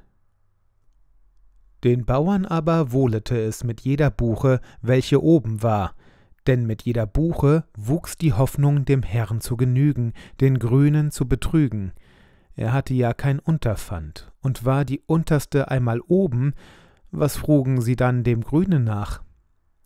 Indessen waren sie der Sache noch nicht sicher. Aller Tage fürchteten sie, er spiele ihnen ein Schabernack und lasse sie im Stiche. Am Urbanustage brachten sie ihm die letzten Buchen an den Kirchstalden, und alt und jung schlief wenig in selber Nacht. Man konnte fast nicht glauben, dass er ohne Umstände und ohne Kind oder Pfand die Arbeit vollendete. Am folgenden Morgen Lange vor der Sonne waren alt und jung auf den Beinen, in allen regte sich die gleiche neugierige Angst, aber lange wagte sich keiner auf den Platz, wo die Buchen lagen, und man wusste nicht, lag dort eine Beize für die, welche den Grünen betrügen wollten? Ein wilder Küherbub, der Käse von der Alp gebracht, wagte es endlich, sprang voran und fand keine Buchen mehr und keine Hinterlist tat auf dem Platze sich kund. Noch trauten sie dem Spiele nicht. Ihnen vorauf musste der Küherbub nach Berhegen. Dort war alles in Ordnung. Hundert Buchen standen in Reih und Glied, keine war verdorret, keinem von ihnen lief das Gesicht auf, keinem tat ein Glied weh. Da stieg der Jubel hoch in ihren Herzen, und viel Spott gegen den Grünen und gegen die Ritter floß. Zum dritten Mal sandten sie aus den wilden Küherbub und ließen dem vom Stoffel sagen, es sei auf Berhegen nun alles in der Ordnung, er möchte kommen und die Buchen zählen. Dem aber ward es grauslich, und er ließ ihnen sagen, sie sollten machen, dass sie heimkämen. Gerne hätte er ihnen sagen lassen, sie sollten den ganzen Schattengang wieder wegschaffen, aber er tat es nicht, seiner Ritter wegen. Es sollte nicht heißen, er fürchte sich, aber er wusste nicht von der Bauernpacht und wer sich in den Handel mischen könnte. Als der Kürsbub den Bescheid brachte, da schwollen die Herzen noch trotziger auf. Die wilde Jugend tanzte im Schattengange, wildes Jodeln hallte von Kluft zu Kluft, von Berg zu Berg hallte an den Mauern des Schlosses Sumiswald wieder. Bedächtige Alte warnten und baten, aber trotzige Herzen achten bedächtiger Alten Warnung nicht. Wenn dann das Unglück da ist, so sollen es die Alten mit ihrem Zagen und Warnen herbeigezogen haben. Die Zeit ist noch nicht da, wo man es erkennt, dass der Trotz das Unglück aus dem Boden stampft. Der Jubel zog sich über Berg und Tal in alle Häuser, und wo noch eines Fingers lang Fleisch im Rauche hing, da ward es gekocht, und wo noch eine Hand groß Butter im Hafen war, da wurde geküchelt. Das Fleisch ward gegessen, die Küchli schwanden, der Tag war verronnen, und ein anderer Tag stieg am Himmel auf. Immer näher kam der Tag, an welchem ein Weib ein Kind gebären sollte, und je näher der Tag kam, umso dringlicher wurde die Angst wieder, der Grüne werde sich wieder künden, fordern, was ihm gehöre, oder ihnen eine Beize legen. Den Jammer jenes jungen Weibes, welches das Kind gebären sollte, wer will ihn ermessen? Im ganzen Hause tönte er wieder, er griff nach und nach alle Glieder des Hauses, und Rat wusste niemand. Je näher die verhängnisvolle Stunde kam, umso näher drängte das arme Weibchen sich zu Gott, umklammerte nicht mit den Armen allein, sondern mit dem Leibe und der Seele und aus dem ganzen Gemüte die heilige Mutter, bittend um Schutz um ihres gebenedeiten Sohnes willen. Und ihr ward immer klarer, dass im Leben und Sterben, in jeder Not der größte Trost bei Gott sei, denn wo der sei, da dürfe das Böse nicht sein und hätte keine Macht. Immer deutlicher trat der Glaube vor dessen Seele, dass, wenn ein Priester des Herrn mit dem Allerheiligsten, dem heiligen Leibe des Erlösers, bei der Geburt zugegen wäre und bewaffnet mit kräftigen Bannsprüchen, so dürfte kein böser Geist sich nahen, und alsobald könnte der Priester das neugeborene Kind mit dem Sakramente der Taufe versehen, was die damalige Sitte erlaubte. Dann wäre das arme Kind der Gefahr für immer entrissen, welche die Vermessenheit der Väter über es gebracht. Dieser Glaube stieg auch bei den andern auf, und der Jammer des jungen Weibes ging ihnen zu Herzen. Aber sie scheuten sich, dem Priester ihre Pacht mit dem Satan zu bekennen, und niemand war seither zur Beichte gegangen, und niemand hatte ihm Rede gestanden. Es war ein gar frommer Mann, selbst die Ritter des Schlosses trieben keine Kurzweil mit ihm, er aber sagte ihnen die Wahrheit. Wenn einmal die Sache getan sei, so könne er sie nicht mehr hindern, hatten die Bauern gedacht, aber jetzt war doch niemand gerne der Erste, der es ihm sagte, das Gewissen sagte ihnen wohl, warum. Endlich drang einem Weibe der Jammer zu Herzen. Es lief hin und offenbarte dem Priester den Handel und des armen Weibes Wunsch. Gewaltig entsetzte sich der fromme Mann, aber mit leeren Worten verlor er die Zeit nicht. Kühn trat er für die arme Seele in den Kampf mit dem gewaltigen Widersacher. Er war einer von denen, die den härtesten Kampf nicht scheuten, weil sie gekrönt werden wollen mit der Krone des ewigen Lebens, und weil sie wohl wissen, es werde keiner gekrönet, er kämpfe denn recht. Ums Haus, in welchem das Weib ihrer Stunde harrte, zog er den heiligen Bann mit geweihtem Wasser, den böse Geister nicht überschreiten dürfen, segnete die Schwelle ein, die ganze Stube, und ruhig gebar das Weib, und ungestört taufte der Priester das Kind. Ruhig blieb es auch draußen. Am klaren Himmel flimmerten die hellen Sterne, leise Lüfte spielten in den Bäumen. Ein Wiehandgelächter wollten die einen gehört haben, von ferne her, die andern aber meinten, es seien nur die Käuzlein gewesen an des Waldes Saum. Alle, die da waren, aber freuten sich höchlich, und alle Angst war verschwunden, auf immer, wie sie meinten. Hatten sie den Grünen einmal angeführt, so konnten sie es immer tun mit dem gleichen Mittel. Ein großes Mahl ward zugerichtet. Weither wurden die Gäste entboten, Umsonst mahnte der Priester des Herrn von Schmaus und Jubel ab, mahnte zu zagen und zu beten, denn noch sei der Feind nicht besiegt, Gott nicht gesühnt. Es sei ihm im Geiste, als dürfe er ihnen keine Buße zur Sühnung auferlegen, als nahe sich eine Buße, gewaltig und schwer und aus Gottes selbsteigener Hand. Aber sie hörten ihn nicht, wollten ihn befriedigen mit Speise und Trank, er aber ging betrübt weg, bat für die, welche nicht wüssten, was sie täten, und rüstete sich mit Beten und Fasten zu kämpfen als ein getreuer Hirt für die anvertraute Herde. Mitten unter den Jubilierenden ist auch Christine gesessen, aber sonderbar stille, mit glühenden Wangen, düsteren Augen, seltsam sah man es zucken in ihrem Gesichte. Christine war bei der Geburt zugegen gewesen, als erfahrene Wehmutter, war bei der plötzlichen Taufe zu Gevatter gestanden, mit frechem Herzen, ohne Furcht, aber wie der Priester das Wasser sprengte über das Kind und es taufte in den drei höchsten Namen, da war es ihr, als drücke man ihr plötzlich ein feurig Eisen auf die Stelle, wo sie des grünen Kuss empfangen. In jähem Schrecken war sie zusammengezuckt, das Kind fast zur Erde gefallen, und seither hatte der Schmerz nicht abgenommen, sondern ward glühender von Stunde zu Stunde. Anfangs war sie stille gesessen, hatte den Schmerz erdrückt und heimlich die schweren Gedanken gewälzet in ihrer erwachten Seele, aber immer häufiger fuhr sie mit der Hand nach dem brennenden Fleck, auf dem ihr eine giftige Wespe zu sitzen schien, die ihr einen glühenden Stachel bohre bis ins Mark hinein. Als keine Wespe zu verjagen war, die Stiche immer heißer wurden, die Gedanken immer schrecklicher, da begann Christine ihre Wange zu zeigen, zu fragen, was darauf zu sehen sei, und immer von neuem frug Christine, aber niemand sah etwas. Und bald mochte niemand mehr mit dem Spähen auf den Wangen die Lust sich verkürzen. Endlich konnte sie noch ein alt Weib erbitten, eben krähte der Hahn, der Morgen graute, da sah die Alte auf Christines Wange einen fast unsichtbaren Fleck. Es sei nichts, sagte die, das werde schon vergehen, und ging weiter. Und Christine wollte sich trösten, es sei nichts und werde bald vergehen, aber die Pein nahm nicht ab, und unmerklich wuchs der kleine Punkt, und alle sahen ihn und frugen sie, was es da Schwarzes gebe in ihrem Gesichte.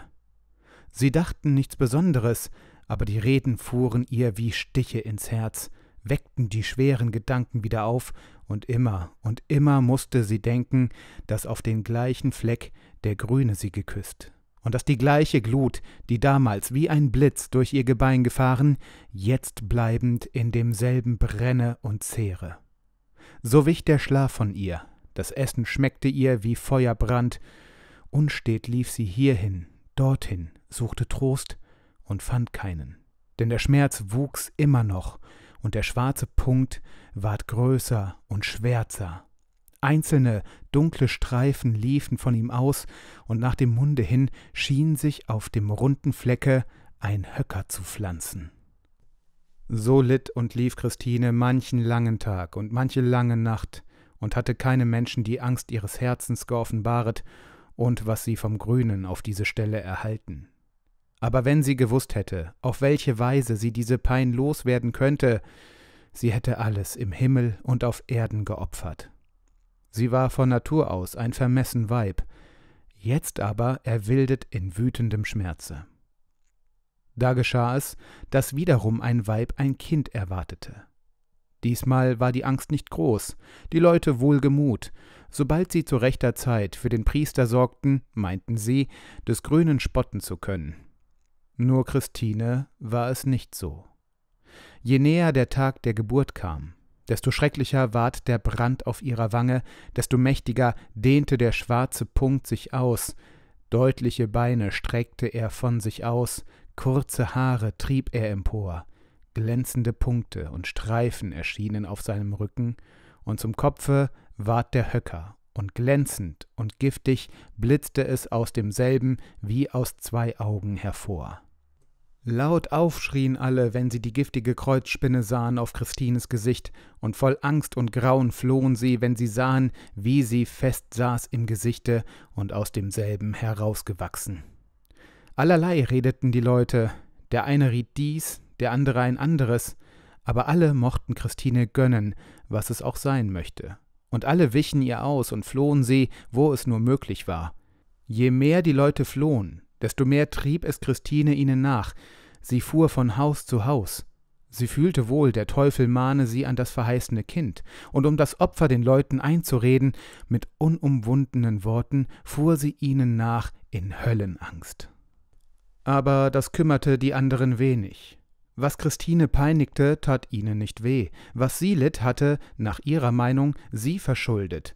Und wenn sie ihr nicht mehr entrinnen konnten, so sagten sie zu ihr: Da, siehe du zu, keiner hat ein Kind verheißen, darum gibt auch keiner eines. Mit wütender Rede setzte sie dem eigenen Manne zu. Dieser floh wie die andern, und wenn er nicht mehr fliehen konnte, so sprach er Christine kaltblütig zu, das werde schon besser, das sei ein Mahlzeichen, wie gar viele Menschen deren hätten, wenn es einmal ausgewachsen sei, so höre der Schmerz auf, und leicht sei es dann abzubinden. Unterdessen aber hörte der Schmerz nicht auf. Jedes Bein war ein Höllenbrand, der Spinne Leib die Hölle selbst. Und als des Weibes erwartete Stunde kam, da war es Christine, als umwalle sie ein Feuermeer, als wühlten feurige Messer in ihrem Mark, als führen feurige Wirbelwinde durch ihr Gehirn.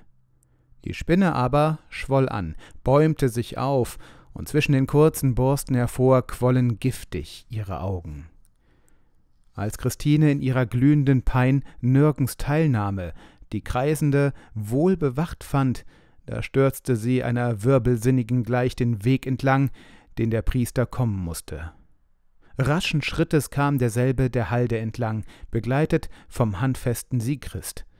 Die heiße Sonne und der steile Weg hemmten die Schritte nicht, denn es galt, eine Seele zu retten, ein unendlich Unglück zu wenden, und von entferntem Kranken kommend bangte der Priester vor schrecklicher Säumnis. Verzweifelt warf Christine sich ihm in den Weg, umfasste seine Knie, bat um Lösung aus ihrer Hölle, um das Opfer des Kindes, das noch kein Leben kenne, und die Spinne schwoll noch höher auf, funkelte schrecklich schwarz in Christines rot angelaufenem Gesichte, und mit grässlichen Blicken glotzte sie nach des Priesters heiligen Geräten und Zeichen. Dieser aber schob Christine rasch zur Seite und schlug das heilige Zeichen. Er sah den Feind wohl, aber er ließ den Kampf, um eine Seele zu retten. Christine aber fuhr auf, stürmte ihm nach und versuchte das Äußerste.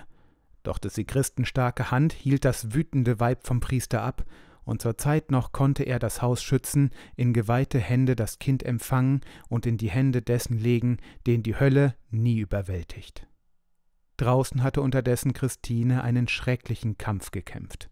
Sie wollte das Kind ungetauft in ihre Hände, wollte hinein ins Haus, aber starke Männer wehrten es. Windstöße stießen an das Haus, der fahle Blitz umzüngelte es, aber die Hand des Herrn war über ihm. Es wurde das Kind getauft, und Christine umkreiste vergeblich und machtlos das Haus. Von immer wilderer Höllenqual ergriffen stieß sie Töne aus, die nicht Tönen glichen aus einer Menschenbrust. Das Vieh schlotterte in den Ställen und riss von den Stricken, die Eichen im Walde rauschten auf, sich entsetzend. Im Hause begann der Jubel über den neuen Sieg, des grünen Ohnmacht, seiner Helfershelferin vergeblich ringen. Aber draußen lag Christine von entsetzlicher Pein zu Boden geworfen, und in ihrem Gesicht begannen Wehen zu kreisen, wie sie sonst noch keine Wöchnerin erfahren auf Erden und die Spinne im Gesichte schwoll immer höher auf und brannte immer glühender durch ihr Gebein. Da war es Christine, als ob plötzlich das Gesicht ihr platzte, als ob glühende Kohlen geboren würden in demselben, lebendig würden, ihr gramselten über das Gesicht weg, über alle Glieder weg, als ob alles an ihm lebendig würde und glühend gramsle über den ganzen Leib weg. Da sah sie in des Blitzes fahlem Scheine, langbeinig, giftig, unzählbar, schwarze Spindchen laufen über ihre Glieder, hinaus in die Nacht, und den Entschwundenen liefen langbeinig, giftig, unzählbar andere nach. Endlich sah sie keine mehr den früheren folgen.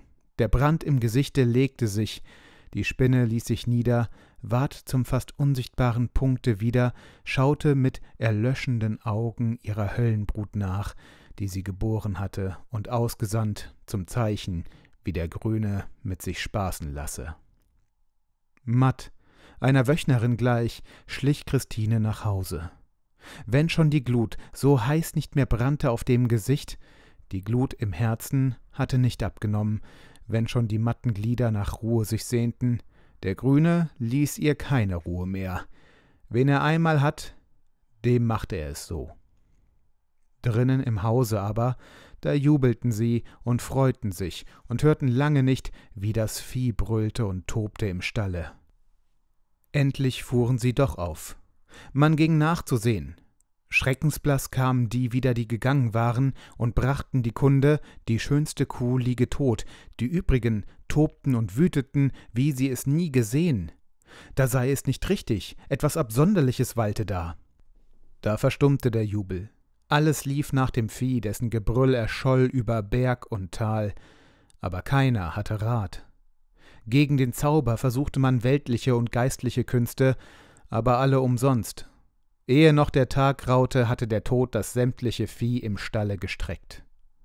Wie es aber hier stumm wurde, so begann es hier zu brüllen und dort zu brüllen. Die das waren, hörten, wie in ihre Ställe die Not gebrochen, wehlich das Vieh seine Meister zu Hilfe rief in seiner grausen Angst. Als ob die Flamme aus ihrem Dache schlüge, eilten sie heim, aber Hilfe brachten sie keine. Hier wie dort streckte der Tod das Vieh, Wehgeschrei von Menschen und Tieren erfüllte Berge und Täler, und die Sonne, welche das Tal so fröhlich verlassen, sah in entsetzlichen Jammer hinein.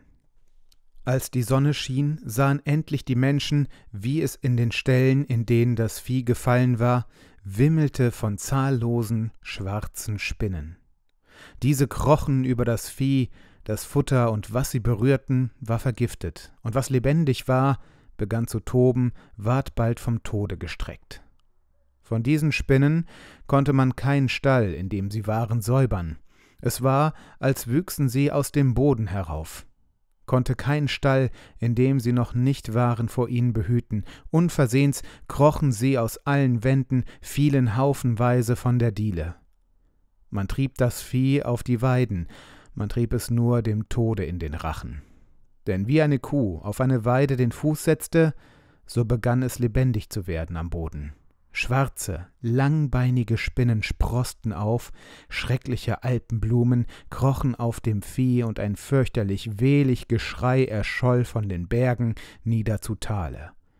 Und alle diese Spinnen sahen der Spinne auf Christines Gesicht ähnlich wie Kinder der Mutter. Und solche hatte man noch keine gesehen. Das Geschrei der armen Tiere war auch zum Schlosse gedrungen, und bald kamen ihm auch Hirten nach, verkündend, dass ihr Vieh gefallen von den giftigen Tieren, und in immer höheren Zorne vernahm der von Stoffeln, wie Herde um Herde verloren gegangen, vernahm, welchen Pacht man mit dem Grünen gehabt, wie man ihn zum zweiten Male betrogen, und wie die Spinnen ähnlich seien, wie Kinder der Mutter der Spinne in der Lindauerin Gesicht, die mit dem Grünen den Bund gemacht alleine und nie rechten Bericht darüber gegeben. Da ritt der von Stoffeln in grimmen Zorn den Berg hinauf und donnerte die Armen an, dass er nicht um ihretwillen Herde und Herde verlieren wolle. Was er geschädigt worden, müssten sie ersetzen, und was sie versprochen, das müssten sie halten, was sie freiwillig getan, das müssten sie tragen. Schaden leiden ihretwegen wolle er nicht, oder leide er, so müssten sie ihn büßen tausendfältig. Sie könnten sich vorsehen. So redete er zu ihnen, unbekümmert um das, was er ihnen zumutete, und dass er sie dazu getrieben, fiel ihm nicht bei. Nur was sie getan, rechnete er ihnen zu. Den meisten war es schon aufgedämmert, dass die Spinnen eine Plage des Bösen seien, eine Mahnung, den Pacht zu halten, und dass Christine Näheres darum wissen müsste, ihnen nicht alles gesagt hätte, was sie mit dem Grünen verhandelt. Nun zitterten sie wieder vor dem Grünen, lachten seiner nicht mehr, zitterten vor ihrem weltlichen Herrn. Wenn sie diese befriedigten, was sagte der geistliche Herr dazu? Erlaubte er es? Und hätte dann der keine Buße für sie? So in der Angst versammelten sich die Angesehensten in einsamer Scheuer und Christine musste kommen und klaren Bescheid geben, was sie eigentlich verhandelt. Christine kam, verwildert, rachedurstig, aufs neue von der wachsenden Spinne gefoltert. Als sie das Zagen der Männer sah und keine Weiber, da erzählte sie punktum, was ihr begegnet, wie der Grüne sie schnell beim Worte genommen und ihr zum Pfande einen Kuss gegeben, den sie nicht mehr geachtet als andere. Wie ihr jetzt auf selbigen Fleck die Spinne gewachsen sei unter Höllenpein vom Augenblick an, als man das erste Kind getauft, wie die Spinne eben, als man das zweite Kind getauft und den Grünen genaht, unter Höllenwehen die Spinnen geboren in ungemessener Zahl. Denn Narren lasse er sich nicht ungestraft, wie sie es fühle, in tausendfachen Todesschmerzen. Jetzt wachse die Spinne wieder, die Pein mehre sich, und wenn das nächste Kind nicht des Grünen werde, so wisse niemand, wie grässlich die einbrechende Plage sei, wie grässlich des Ritters Rache. So erzählte Christine, und die Herzen der Männer bebten, und lange wollte keiner reden. Nach und nach kamen aus den angstgepressten Kehlen abgebrochene Laute hervor, und wenn man sie zusammensetzte, so meinten sie gerade, was Christine meinte, aber kein Einzelner hatte seine Einwilligung gegeben in ihren Rat. Nur einer stund auf und redete kurz und deutlich. Das Beste schiene ihm, Christine totzuschlagen. Sei einmal die tot, so könnte der Grüne an die Tote sich halten, hätte keine Handhabe mehr an den Lebendigen. Da lachte Christine wild auf, trat ihm unter das Gesicht und sagte, er solle zuschlagen. Ihr sei es recht, aber der Grüne wolle nicht sie, sondern ein ungetauft Kind. Und wie er sie gezeichnet, ebenso gut könne er die Hand zeichnen, die an ihr sich vergreife. Da zuckte es in des Mannes Hand, der allein geredet.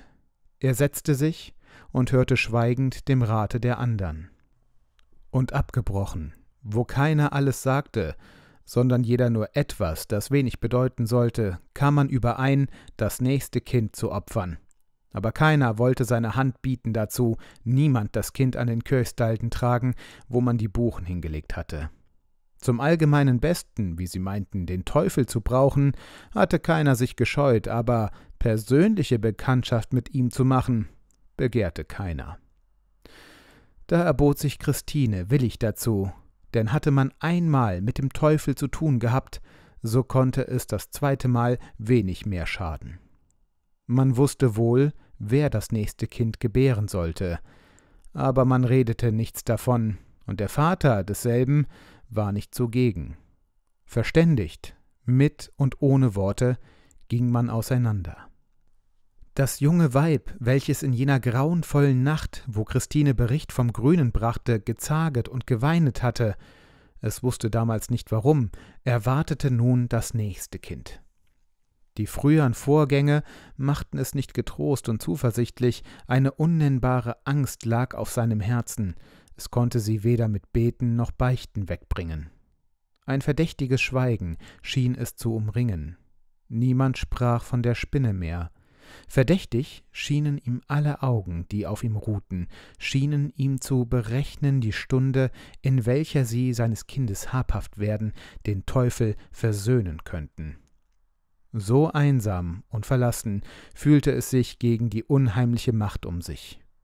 Keinen Beistand hatte es als seine Schwiegermutter, eine fromme Frau, die zu ihm stund. Aber was vermag eine alte Frau gegen eine wilde Menge? Es hatte seinen Mann, der hatte alles Gute wohl versprochen, aber wie jammerte der um sein Vieh und gedachte so wenig des armen Weibes Angst. Es hatte der Priester verheißen zu kommen, so schnell und so früh zu kommen, als man ihn verlange. Aber was konnte begegnen vom Augenblicke an, da man gesandt, bis dass er kam? Und das arme Weib hatte keinen zuverlässigen Boten als den eigenen Mann, der ihm Schutz und Wache sein sollte und das arme Weibchen wohnte dazu noch mit Christine in einem Hause, und ihre Männer waren Brüder, und keine eigenen Verwandten hatte es, als Waise war es ins Haus gekommen. Man kann sich des armen Weibes Herzensangst denken, Nur im Beten mit der frommen Mutter fand es einiges Vertrauen, das alsobald wieder schwand, sobald es in die bösen Augen sah. Unterdessen war die Krankheit noch immer da. Sie unterhielt den Schrecken. Freilich nur hie und da fiel ein Stück, zeigten die Spinnen sich, aber sobald bei jemand der Schreck nachließ, sobald irgendeiner dachte oder sagte, das Übel lasse von selbst nach, und man solle sich wohl bedenken, ehe man an einem Kinde sich versündige, so flammte auf Christines Höllenpein, die Spinne blähte sich hoch auf, und dem, der so gedacht oder geredet, kehrte mit neuer Wut der Tod in seine Herde ein. Ja, Je näher die erwartete Stunde kam, umso mehr schien die Not wieder zuzunehmen, und sie erkannten, dass sie bestimmte Abrede treffen müssten, wie sie des Kindes sicher und sonder Fehl sich bemächtigen könnten. Den Mann fürchteten sie am meisten, und Gewalt gegen ihn zu brauchen, war ihnen zuwider. Da übernahm Christine, ihn zu gewinnen, und sie gewann ihn.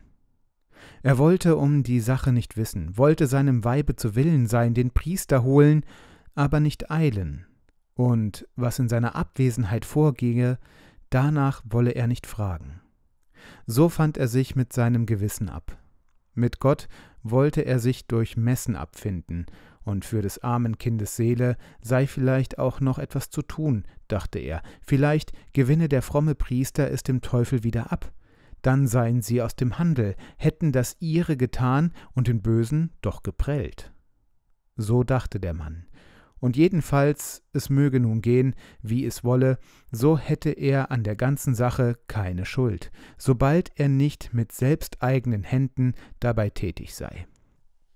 So war das arme Weibchen verkauft, und es wusste nicht, hoffte mit Bangen auf Rettung, und beschlossen im Rate der Menschen war der Stoß in sein Herz. Aber was der droben beschlossen hatte, das deckten noch die Wolken, die vor der Zukunft liegen. Es war ein gewitterhaftes Jahr und die Ernte gekommen. Alle Kräfte wurden angespannt, um in den heiteren Stunden das Korn unter das sichere Dach zu bringen. Es war ein heißer Nachmittag gekommen. Schwarze Häupter streckten die Wolken über die dunklen Berge empor. Ängstlich ums Dach flatterten die Schwalben, und dem armen Weibchen ward es so eng und bang allein im Hause, denn selbst die Großmutter war draußen auf dem Acker zu helfen mit dem Willen mehr als mit der Tat. Da zuckte zweischneidend der Schmerz ihm durch Mark und Bein, es dunkelte vor seinen Augen, es fühlte das Nahen seiner Stunde und war allein. Die Angst trieb es aus dem Hause, schwerfällig schritt es dem Acker zu, aber bald musste es sich niedersetzen, es wollte in die Ferne die Stimme schicken, aber diese wollte nicht aus der beklemmten Brust. Bei ihm war ein klein Bübchen, das erst seine Beinchen brauchen lernte, das nie noch auf eigenen Beinen auf dem Acker gewesen war, sondern nur auf der Mutter Arme. Dieses Bübchen musste das arme Weib als seinen Boten brauchen, wusste nicht, ob es den Acker finden, ob seine Beinchen es bis dahin tragen würden. Aber das treue Bübchen sah, in welcher Angst die Mutter war, und lief und fiel und stand wieder auf, und die Katze jagte sein Kaninchen, Tauben und Hühner liefen ihm um die Füße, stoßend und spielend sprang sein Lamm ihm nach, aber das Bübchen sah alles nicht, ließ sich nicht säumen und richtete treulich seine Botschaft aus.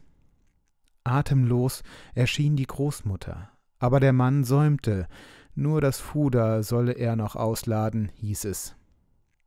Eine Ewigkeit verstrich.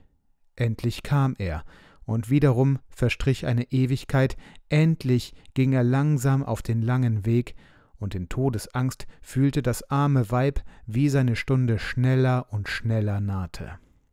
Frohlockend hatte Christine draußen auf dem Acker allem zugesehen. Heiß brannte wohl die Sonne zu der schweren Arbeit, aber die Spinne brannte fast gar nicht mehr, und leicht schien ihr der Gang in den nächsten Stunden. Sie trieb fröhlich die Arbeit und eilte mit dem Heimgehen nicht, wusste sie doch, wie langsam der Bote war. Erst als die letzte Gabe geladen war und Windstöße das nahende Gewitter verkündeten, eilte Christine ihrer Beute zu, die ihr gesichert war, so meinte sie. Und als sie heimging, da winkte sie bedeutungsvoll manchem Begegnenden. Sie nickten ihr zu, trugen rasch die Botschaft heim. Da schlotterte manches Knie, und manche Seele wollte beten in unwillkürlicher Angst, aber sie konnte nicht. Drinnen im Stübchen wimmerte das arme Weib, und zu Ewigkeiten wurden die Minuten, und die Großmutter vermochte den Jammer nicht zu stillen mit Beten und Trösten. Sie hatte das Stübchen wohl verschlossen und schweres Gerät vor die Türe gestellt. Solange sie allein im Hause waren, war es noch nicht schlimm, aber als sie Christine heimkommen sahen, als sie ihren schleichenden Tritt an der Türe hörten, als sie draußen noch manch andern Tritt hörten und heimlich flüstern, kein Priester sich zeigte, kein anderer treuer Mensch und näher und näher der sonst so ersehnte Augenblick trat, da kann man sich denken, in welcher Angst die armen Weiber schwammen, wie in siedendem Öl, ohne Hülfe und ohne Hoffnung. Sie hörten, wie Christine nicht von der Tür wich. Es fühlte das arme Weib seiner wilden Schwägerin feurige Augen durch die Tür hindurch, und sie brannten sie durch Leib und Seele. Da wimmerte das erste Lebenszeichen eines Kindes durch die Türe, unterdrückt so schnell wie möglich, aber zu spät. Die Türe flog auf von wütendem, vorbereitetem Stoße, und wie auf seinen Raub der Tiger stürzt, stürzt Christine auf die arme Wöchnerin. Die alte Frau, die dem Sturme sich entgegenwirft, fällt nieder. In heiliger Mutterangst rafft die Wöchnerin sich auf, aber der schwache Leib bricht zusammen. In Christines Händen ist das Kind. Ein grässlicher Schrei bricht aus dem Herzen der Mutter, dann hüllt sie in schwarzen Schatten die Ohnmacht. Zagen und Grausen ergriff die Männer, als Christine mit dem geraubten Kinde herauskam. Das Ahnen einer grausen Zukunft ging ihnen auf, aber keiner hatte Mut, die Tat zu hemmen, und die Furcht vor des Teufels Plagen war stärker als die Furcht vor Gott. Nur Christine zagte nicht, glühend leuchtete ihr Gesicht, wie es dem Sieger leuchtet nach überstandenem Kampfe. Es war ihr, als ob die Spinne sie in sanften Jucken liebkose. Die Blitze, die auf ihrem Wege zum Kirchstalden sie umzüngelten, schienen ihr fröhliche Lichter, der Donner ein zärtlich Grollen, ein lieblich Säuseln, der racheschnaubende Sturm. Hans, der arme Weibesmann, hatte sein Versprechen nur zu gut gehalten.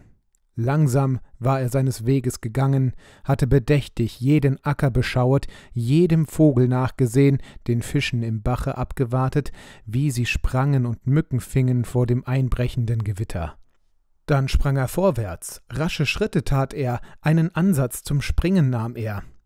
Es war etwas in ihm, das ihn trieb, das ihm die Haare auf dem Kopfe emportrieb. Es war das Gewissen, das ihm sagte, was ein Vater verdiene, der Weib und Kind verrate. Es war die Liebe, die er doch noch hatte zu seinem Weibe und seiner Leibesfrucht. Aber dann hielt ihn wieder ein anderes, und das war stärker als das erste. Es war die Furcht vor den Menschen, die Furcht vor dem Teufel und die Liebe zu dem, was dieser ihm nehmen konnte. Dann ging er wieder langsamer, langsam wie ein Mensch, der seinen letzten Gang tut, der zu seiner Richtstätte geht. Vielleicht war es auch so, weiß doch gar mancher Mensch nicht, dass er den letzten Gang tut, wenn er es wüsste, er täte ihn nicht oder anders. So war es spät geworden, ehe er auf Sumiswald kam.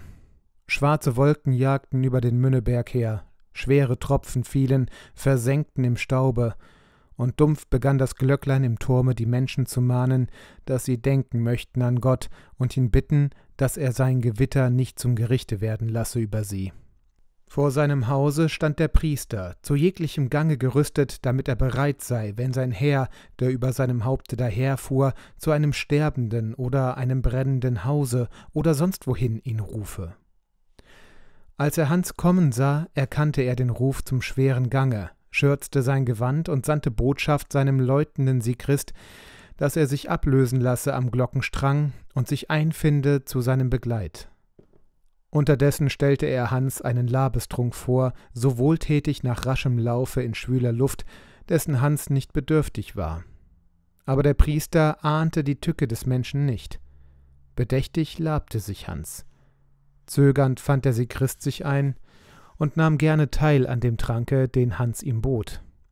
Gerüstet stand vor ihnen der Priester, verschmähend jeden Trank, den er zu solchem Gang und Kampf nicht bedurfte.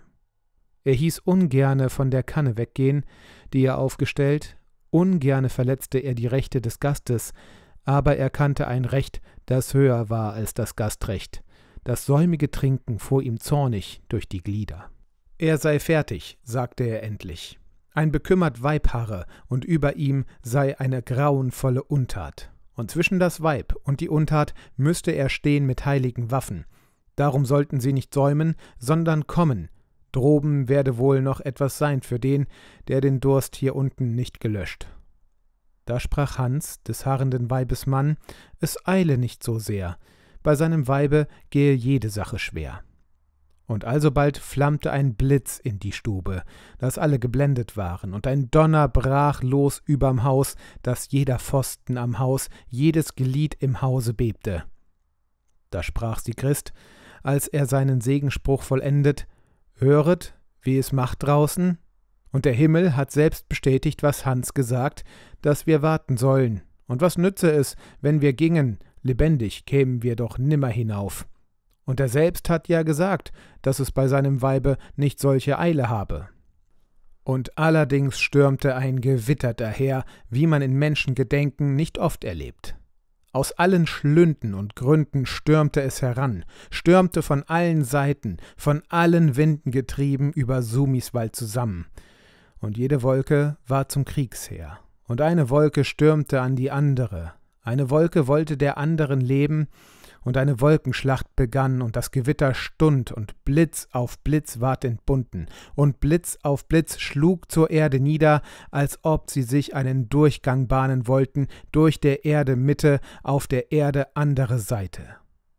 Ohne Unterlass brüllte der Donner, zornesvoll heulte der Sturm, geborsten war der Wolkenschoß, Fluten stürzten nieder. Als so plötzlich und gewaltig die Wolkenschlacht losbrach, da hatte der Priester dem Sekristen nicht geantwortet, aber sich nicht niedergesetzt. Und ein immer steigendes Bangen ergriff ihn, ein Drang kam ihn an, sich hinauszustürzen in der Elemente Toben, aber seiner Gefährten wegen zauderte er.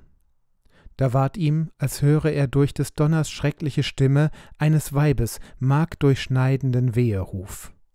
Da ward ihm plötzlich der Donner zu Gottes schrecklichem Scheltwort seiner Säumnis, er machte sich auf, was auch die beiden andern sagen mochten. Er schritt gefasst auf alles hinaus in die feurigen Wetter, in des Sturmes Wut, der Wolkenfluten. Langsam, unwillig kamen die beiden nach.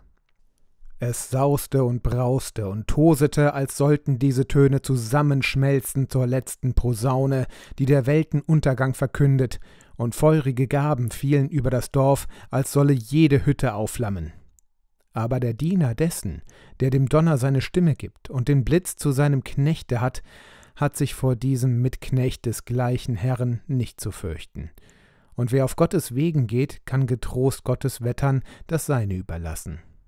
Darum schritt der Priester unerschrocken durch die Wetter dem Köstalden zu, die geweihten, heiligen Waffen trug er bei sich, und bei Gott war sein Herz.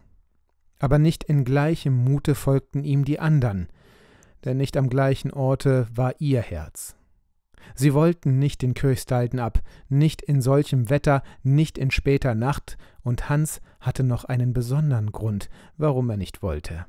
Sie baten den Priester umzukehren, auf andern Wegen zu gehen. Hans wusste nähere, der sie Christ bessere. Beide warnten vor den Wassern im Tale, der aufgeschwollenen Grüne. Aber der Priester hörte nicht, achtete ihre Rede nicht, von einem wunderbaren Drange getrieben, eilte er auf den Flügeln des Gebetes dem Köchstalden zu. Sein Fuß stieß an keinen Stein, sein Auge ward durch keinen Blitz geblendet.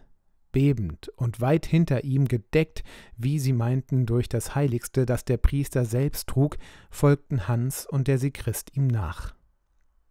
Als sie aber hinauskamen vor das Dorf, wo ins Tal hinunter der Stalden sich senkt, da steht der Priester plötzlich still und schirmt mit der Hand die Augen.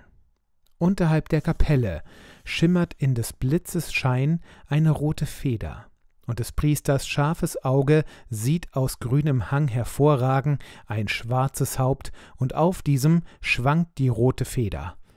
Und wie er noch länger schaut, sieht er am jenseitigen Abhange in schnellstem Laufe, wie gejagt von des Windes wildestem Stoße daherfliegen, eine wilde Gestalt dem dunklen Haupte zu, auf dem einer Fahne gleich die rote Feder schwankte. Da loderte im Priester auf der heilige Kampfesdrang, der, sobald sie den Bösen ahnen, über die kümmt, die gottgeweihten Herzens sind. Wie der Trieb über das Samenkorn kümmt, wenn das Leben in es dringt, wie er in die Blume dringt, wenn sie sich entfalten soll, wie er über den Helden kümmt, wenn sein Feind das Schwert erhebt. Und wie der Lechzende in des Stromes kühle Flut, wie der Held zur Schlacht stürzt der Priester den Stalden nieder, stürzt zum kühnsten Kampf, dringt zwischen den Grünen und Christine, die eben das Kindlein in des andern Arme legen wollte. Mitten hinein schmettert zwischen sie die drei höchsten heiligen Namen, hält das Heiligste dem Grünen ans Gesicht, sprengt heiliges Wasser über das Kind und trifft Christine zugleich. Da fährt mit fürchterlichem Wehegeheul der Grüne von dannen, wie ein glutroter Streifen zuckte er dahin, bis die Erde ihn verschlingt.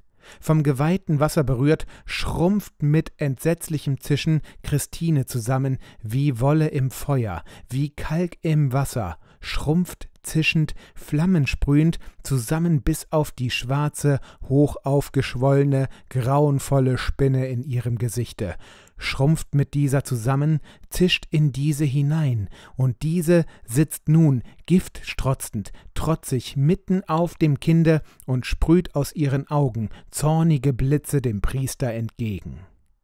Dieser sprengt ihr Weihwasser entgegen. Es zischt wie auf heißem Steine gewöhnliches Wasser. Immer größer wird die Spinne, streckt immer weiter ihre schwarzen Beine aus über das Kind, glotzt immer giftiger den Priester an. Da fasst dieser in feurigem Glaubensmut nach ihr mit kühner Hand. Es ist, als wenn er griffe in glühende Stacheln hinein, aber unerschüttert greift er fest, schleudert das Ungeziefer weg, fasst das Kind und eilt mit ihm der Mutter zu. Und wie sein Kampf zu Ende war, stillte sich auch der Kampf der Wolken. Sie eilten wieder in ihre dunklen Kammern. Bald flimmerte in stillem Sternenlicht das Tal, in dem kurz zuvor die wildeste Schlacht getobt, und fast atemlos eilte der Priester in das Haus, in welchem an Mutter und Kind die Freveltat begangen worden. Doch war die Mutter noch ohnmächtig. Mit dem gellenden Schrei hatte sie ihr Leben fortgesendet. Neben ihr saß betend die Alte, Sie traute noch auf Gott, dass er mächtiger sei als der Teufel böse. Mit dem Kinde brachte der Priester der Mutter auch das Leben zurück. Als sie erwachend das Kindlein wieder sah, durchfloß sie eine Wonne, wie sie nur die Engel im Himmel kennen, und auf der Mutter Armen taufte der Priester das Kind im Namen Gottes des Vaters, des Sohnes und des Heiligen Geistes. Und jetzt war es entrissen des Teufels Gewalt auf immer, bis es sich ihm freiwillig übergeben wollte. Aber vor dem hütete es Gott, in dessen Gewalt jetzt seine Seele übergeben worden, während der Leib von der Spinne vergiftet blieb. Bald schied seine Seele wieder, und wie mit Brandflecken war das Leibchen gezeichnet. Die arme Mutter weinte wohl, aber wo jeder Teil wieder dahin geht, wo er hingehöret, zu Gott die Seele, zur Erde der Leib, da findet sich der Trost ein, früher dem, später jenem. Sobald der Priester sein Heiligamt verrichtet hatte, begann er ein seltsam Jucken zu fühlen in Hand und Arm, womit er die Spinne weggeschleudert. Kleine schwarze Flecken sah er auf der Hand, sichtbarlich wurden sie größer und schwollen auf. Todesschauer rieselte ihm durchs Herz. Er segnete die Weiber und eilte heim, die heiligen Waffen wollte er als getreuer Streiter wieder dahin bringen, wo sie hingehörten, damit sie einem andern nach ihm zur Hand seien. Hoch auf schwoll der Arm, schwarze Beulen quollen immer höher auf. Er kämpfte mit des Todes Mattigkeit, aber er erlag ihr nicht. Als er an den Kirchstalden kam, da sah er Hans, den gottesvergessenen Vater, von dem man nicht wusste, wo er geblieben, mitten im Wege auf dem Rücken liegen.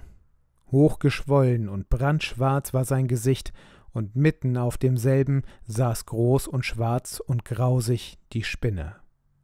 Als der Pfarrer kam, blähte sie sich auf, giftig bäumten sich die Haare auf ihrem Rücken, giftig und sprühend glotzten ihre Augen ihn an, sie tat wie die Katze, wenn sie sich rüstet, zu einem Sprung in ihres Todesfeindes Gesicht.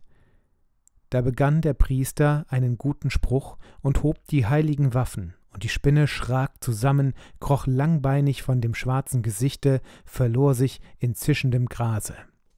Darauf ging der Pfarrer vollends heim, stellte das Allerheiligste an seinen Ort, und während wilde Schmerzen den Leib zum Tode rissen, harrte in süßem Frieden seine Seele ihres Gottes, für den sie recht gestritten in kühnem Gotteskampfe, und lange ließ Gott sie nicht harren. Aber solch süßer Friede, der still des Herren harrt, war hinten im Tal, war oben auf den Bergen nicht. Von dem Augenblicke an, als Christine mit dem geraubten Kinde den Berg hinuntergerannt war dem Teufel zu, war heilloser Schrecken in alle Herzen gefahren. Während dem fürchterlichen Ungewitter bebten die Menschen in den Schrecken des Todes, denn ihre Herzen wussten wohl, wenn Gottes Hand vernichtend über sie komme, so sei es mehr als wohlverdient. Als das Gewitter vorüber war, lief die Kunde von Haus zu Haus, wie der Pfarrer das Kindlein zurückgebracht und getauft, aber kein Hans, keine Christine gesehen worden. Der grauende Morgen fand lauter bleiche Gesichter, und die schöne Sonne färbte sie nicht, denn alle wussten wohl, dass nun das Schrecklichste kommen werde. Da hörte man, dass mit schwarzen Beulen der Pfarrer gestorben. Man fand Hans mit schrecklichem Gesichte, und von der grässlichen Spinne, in die Christine verwandelt worden, hörte man seltsam verwirrte Worte. Es war ein schöner Erntetag, aber keine Hand rührte sich zur Arbeit. Die Leute liefen zusammen, wie man es pflegt am Tage nach dem Tage, an welchem ein großes Unglück begegnet ist. Sie fühlten erst jetzt in ihrem bebenden Seelen so recht, was es heiße, von irdischer Not und Plage mit einer unsterblichen Seele sich loskaufen zu wollen, fühlten, dass ein Gott im Himmel sei, der alles Unrecht des armen Kindern, die sich nicht wehren können, angetan wird, fürchterlich räche. So stunden sie bebend zusammen und jammerten, und wer bei den andern war, der durfte nicht mehr heim, und doch waren Zank und Streit unter ihnen, und einer gab den andern Schuld, und jeder wollte abgemahnet und gewarnet haben, und jeder hatte nichts dawider, dass Strafe die Schuldigen treffe, sich und sein Haus wollte aber jeder ohne Strafe wissen. Und wenn sie in diesem schrecklichen Haaren und Streiten ein neu unschuldig Opfer gewusst hätten, es wäre keiner gewesen, der nicht an denselben gefrevelt in der Hoffnung, sich selbst zu retten. Da schrie mitten im Haufen einer entsetzlich auf, es war ihm, als sei er in einen glühenden Dorn getreten, als nagle man mit glühendem Nagel den Fuß an den Boden, als ströme Feuer durch das Mark seiner Gebeine. Der Haufen fuhr auseinander, und alle Augen sahen nach dem Fuße, gegen den die Hand des Schreienden fuhr. Auf dem Fuße aber saß schwarz und groß die Spinne und glotzte giftig und schadenfroh in die Runde.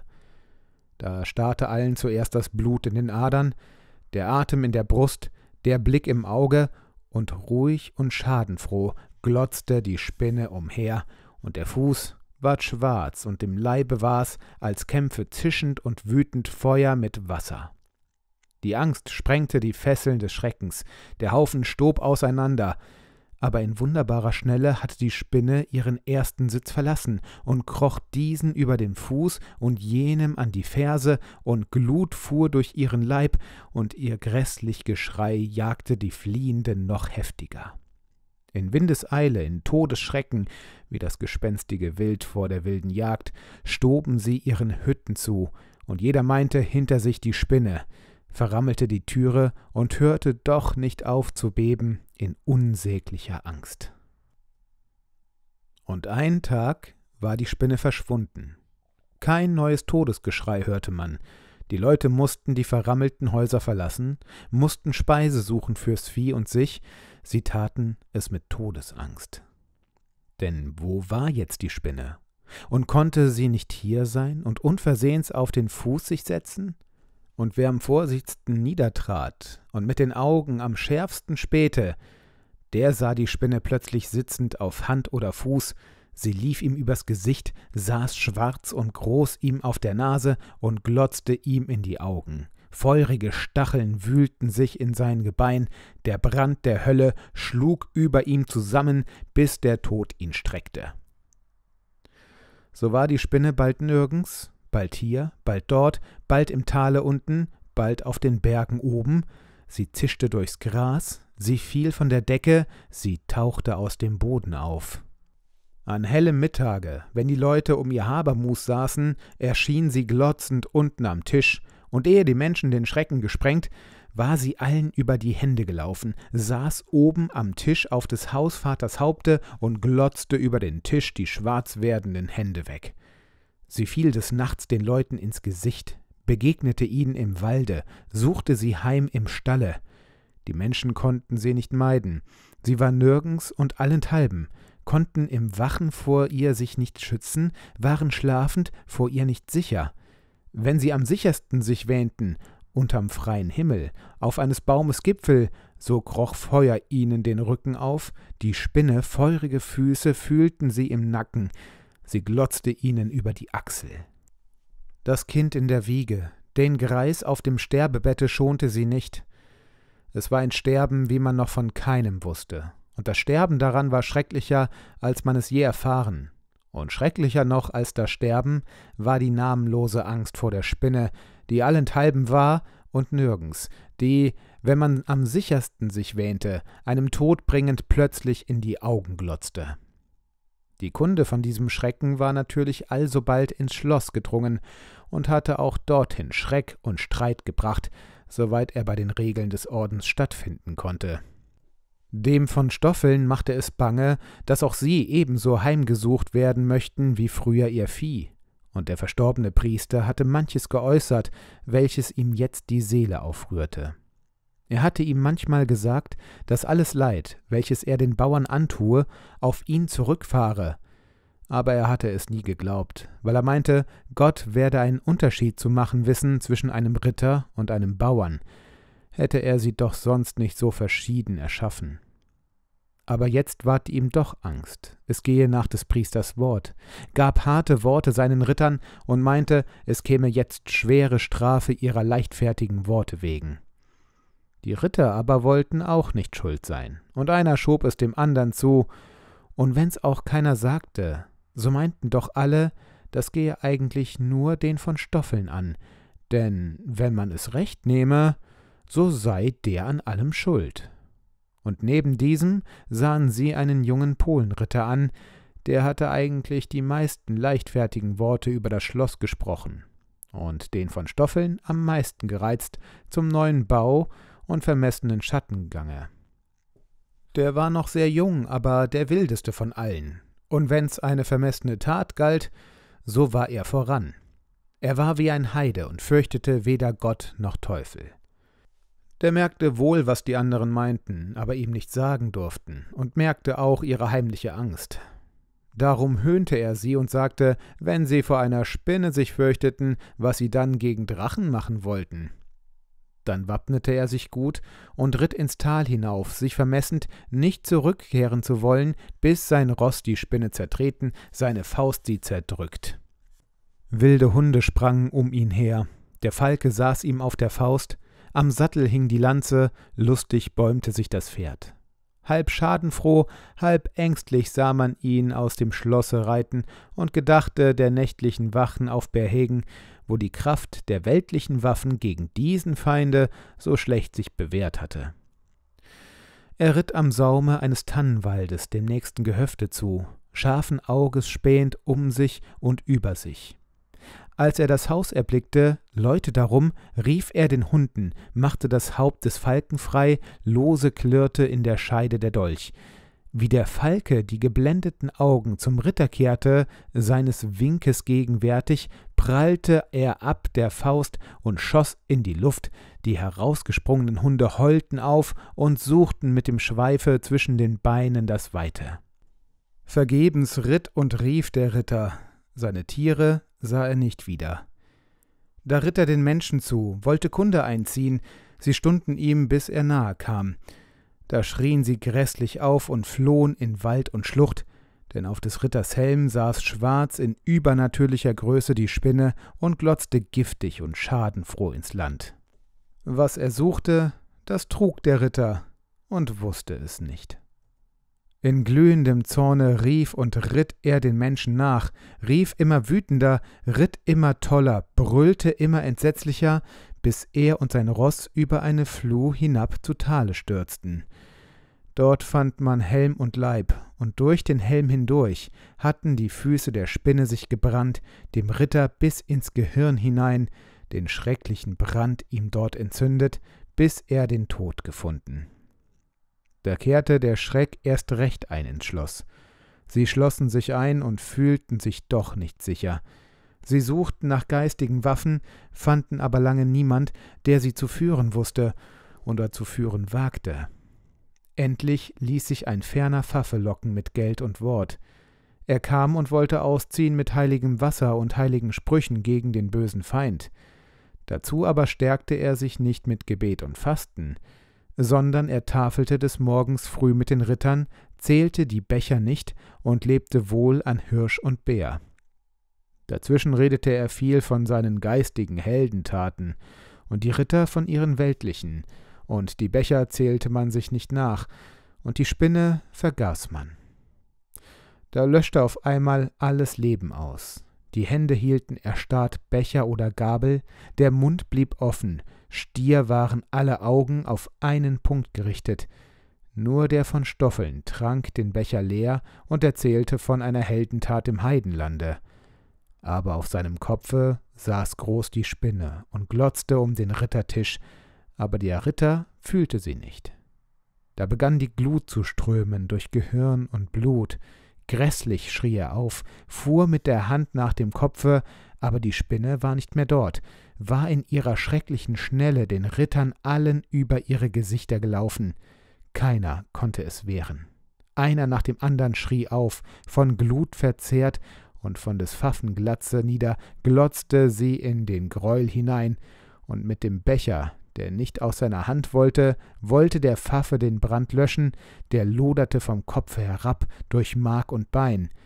Aber der Waffe trotzte die Spinne und glotzte von ihrem Throne herab in den Greuel, bis der letzte Ritter den letzten Schrei ausgestoßen, am letzten Atemzuge geendet. Im Schlosse blieben nur wenige Diener verschont, die nie Hohn mit den Bauern getrieben. Sie erzählten, wie schrecklich es gegangen, das Gefühl, dass den Rittern ihr Recht geschehen, tröstete aber die Bauern nicht. Der Schreck ward immer größer, grässlicher. Mancher suchte zu fliehen, die einen wollten das Tal verlassen, aber gerade die fielen der Spinne zu. Auf dem Wege fand man ihre Leichname. Andere flohen auf die hohen Berge, aber droben vor ihnen war die Spinne. Und wenn sie sich gerettet glaubten, so saß ihnen die Spinne im Nacken oder im Gesichte. Das Untier ward immer boshafter, immer teuflischer.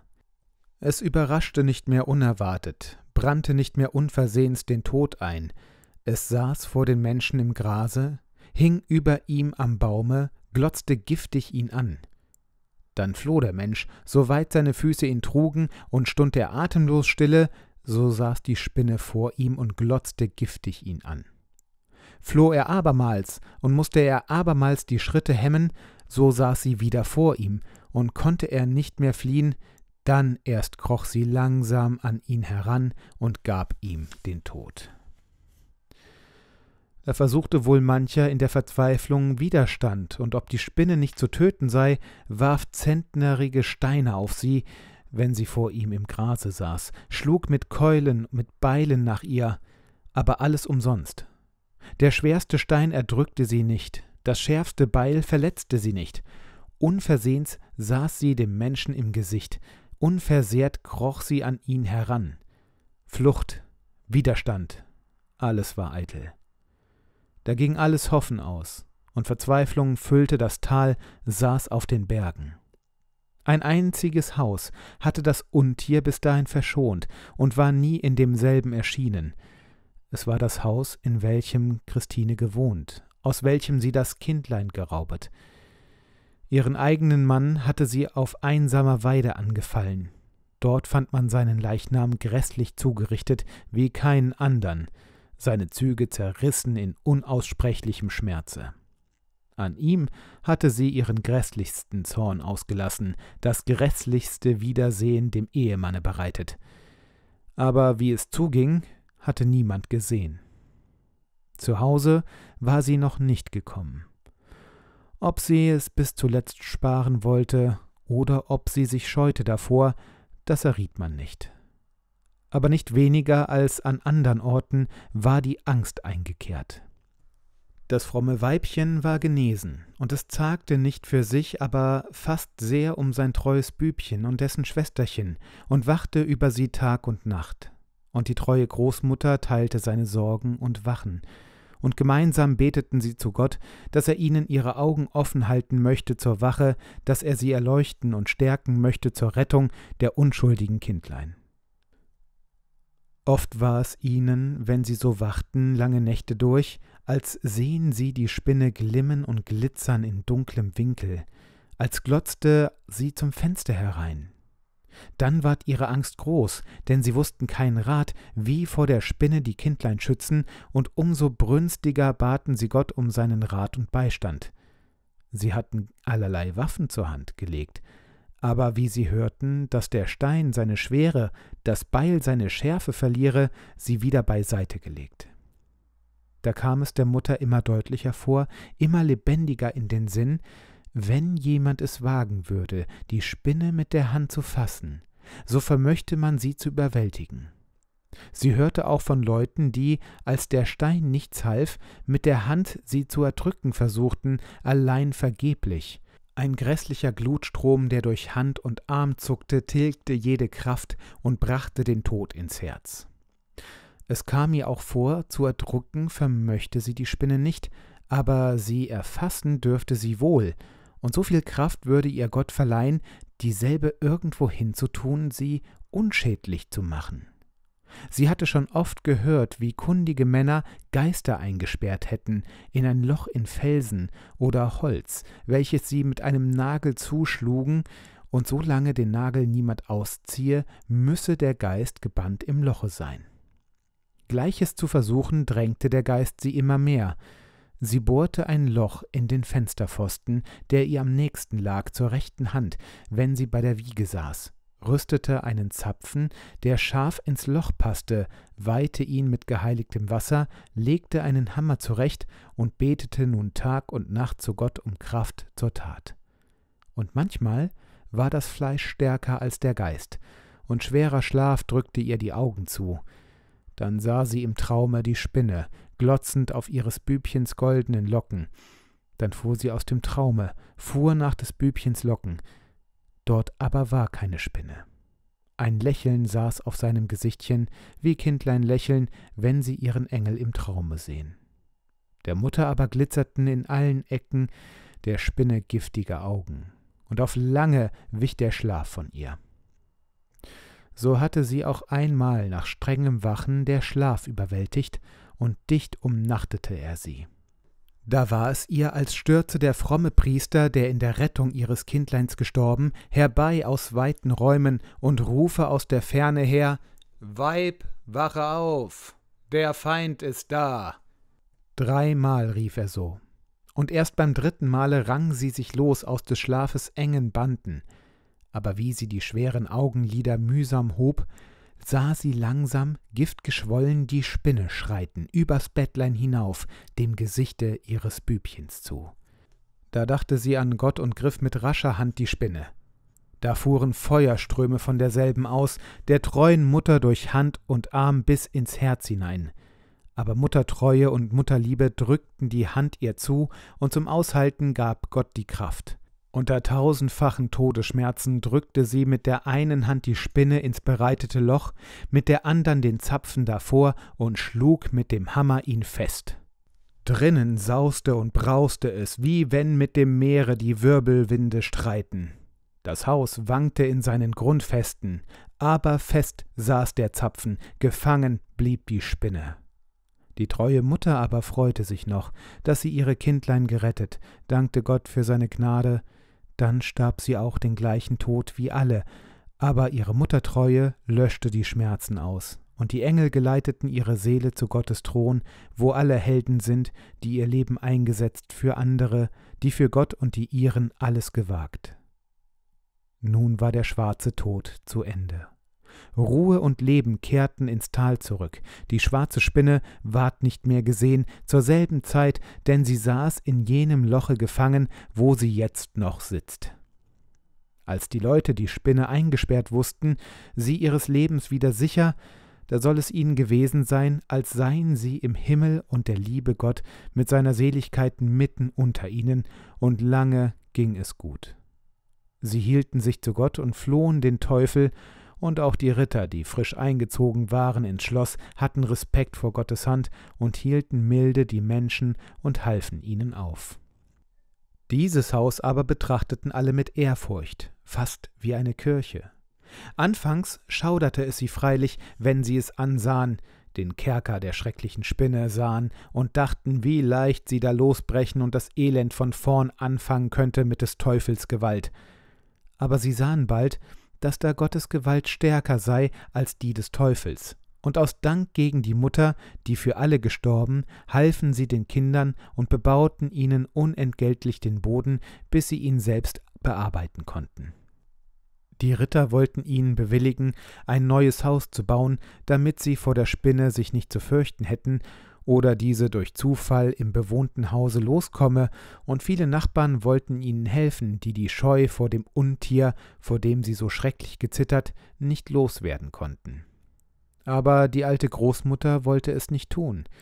Sie lehrte ihre Enkel, hier sei die Spinne gebannt durch Gott, Vater, Sohn und Heiligen Geist, solange diese drei heiligen Namen gelten in diesem Hause, solange in diesen drei heiligen Namen an diesem Tische gegessen und getrunken werde, so lange seien sie vor der Spinne sicher und diese fest im Loche.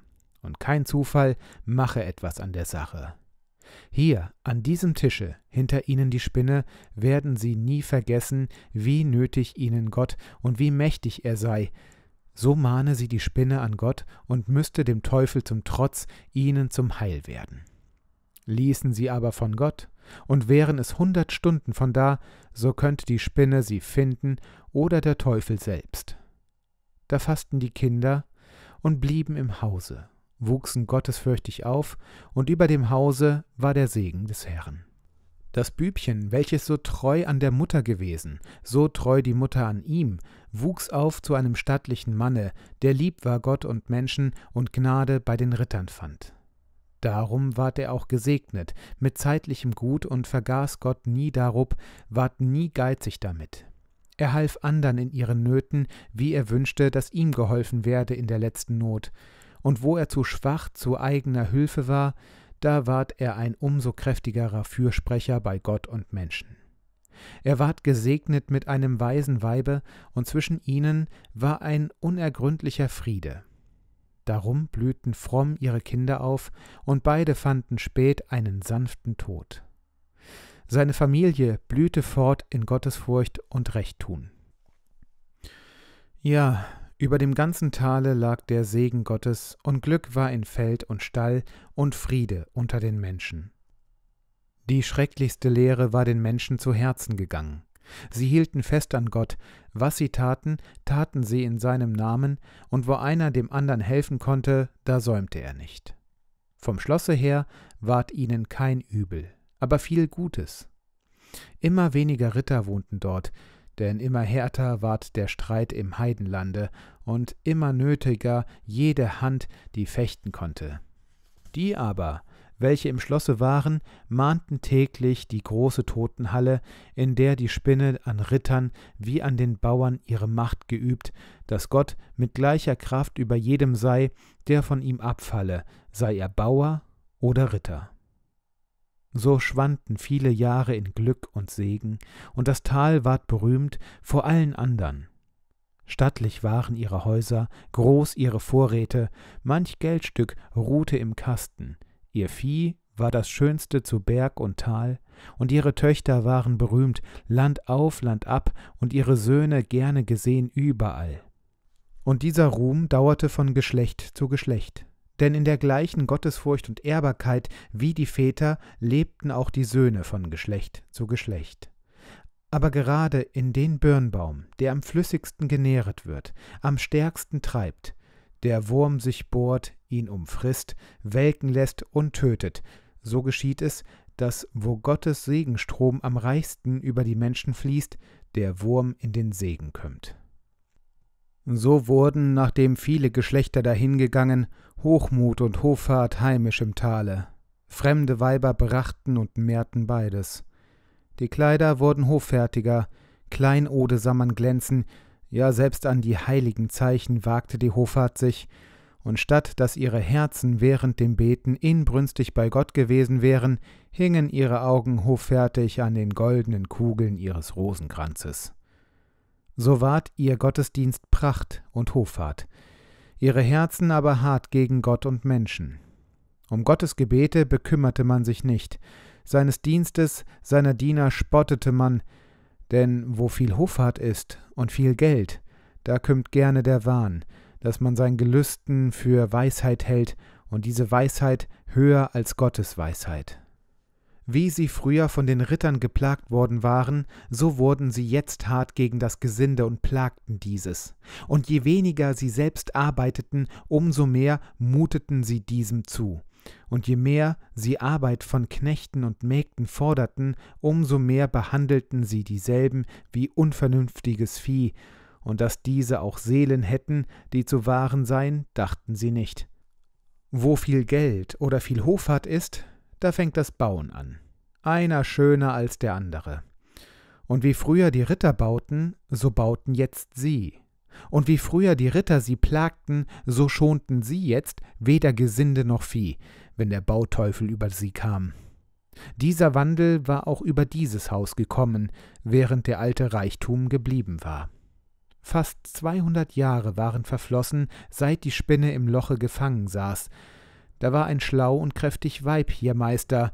Sie war keine Lindauerin, aber doch glich sie Christine in vielen Stücken. Sie war auch aus der Fremde, der Hoffart, dem Hochmute ergeben und hatte einen einzigen Sohn. Der Mann war unter ihrer Meisterschaft gestorben. Dieser Sohn war ein schöner Bube, hatte ein gutes Gemüt, war freundlich mit Mensch und Vieh. Sie hatten ihn auch gar lieb, aber sie ließ es ihn nicht merken.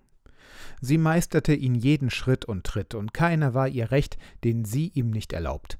Und längst war er erwachsen und durfte nicht zu Kameradschaft und an keine Kilby ohne der Mutter Begleit. Als sie ihn endlich alt genug glaubte, gab sie ihm ein Weib aus ihrer Verwandtschaft, eins nach ihrem Sinn. Jetzt hatte er zwei Meister statt nur einen, und beide waren gleich hoffärtig und hochmütig, und weil sie es waren, so sollte auch Christen es sein, und wenn er freundlich war und demütig, wie es ihm wohl anstund, so erfuhr er, wer Meister war.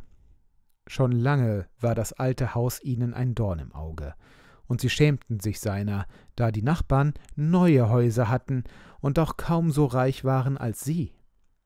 Die Sage von der Spinne und was die Großmutter gesagt, war damals noch in jedermanns Gedächtnis, sonst wäre das alte Haus längst schon eingerissen worden.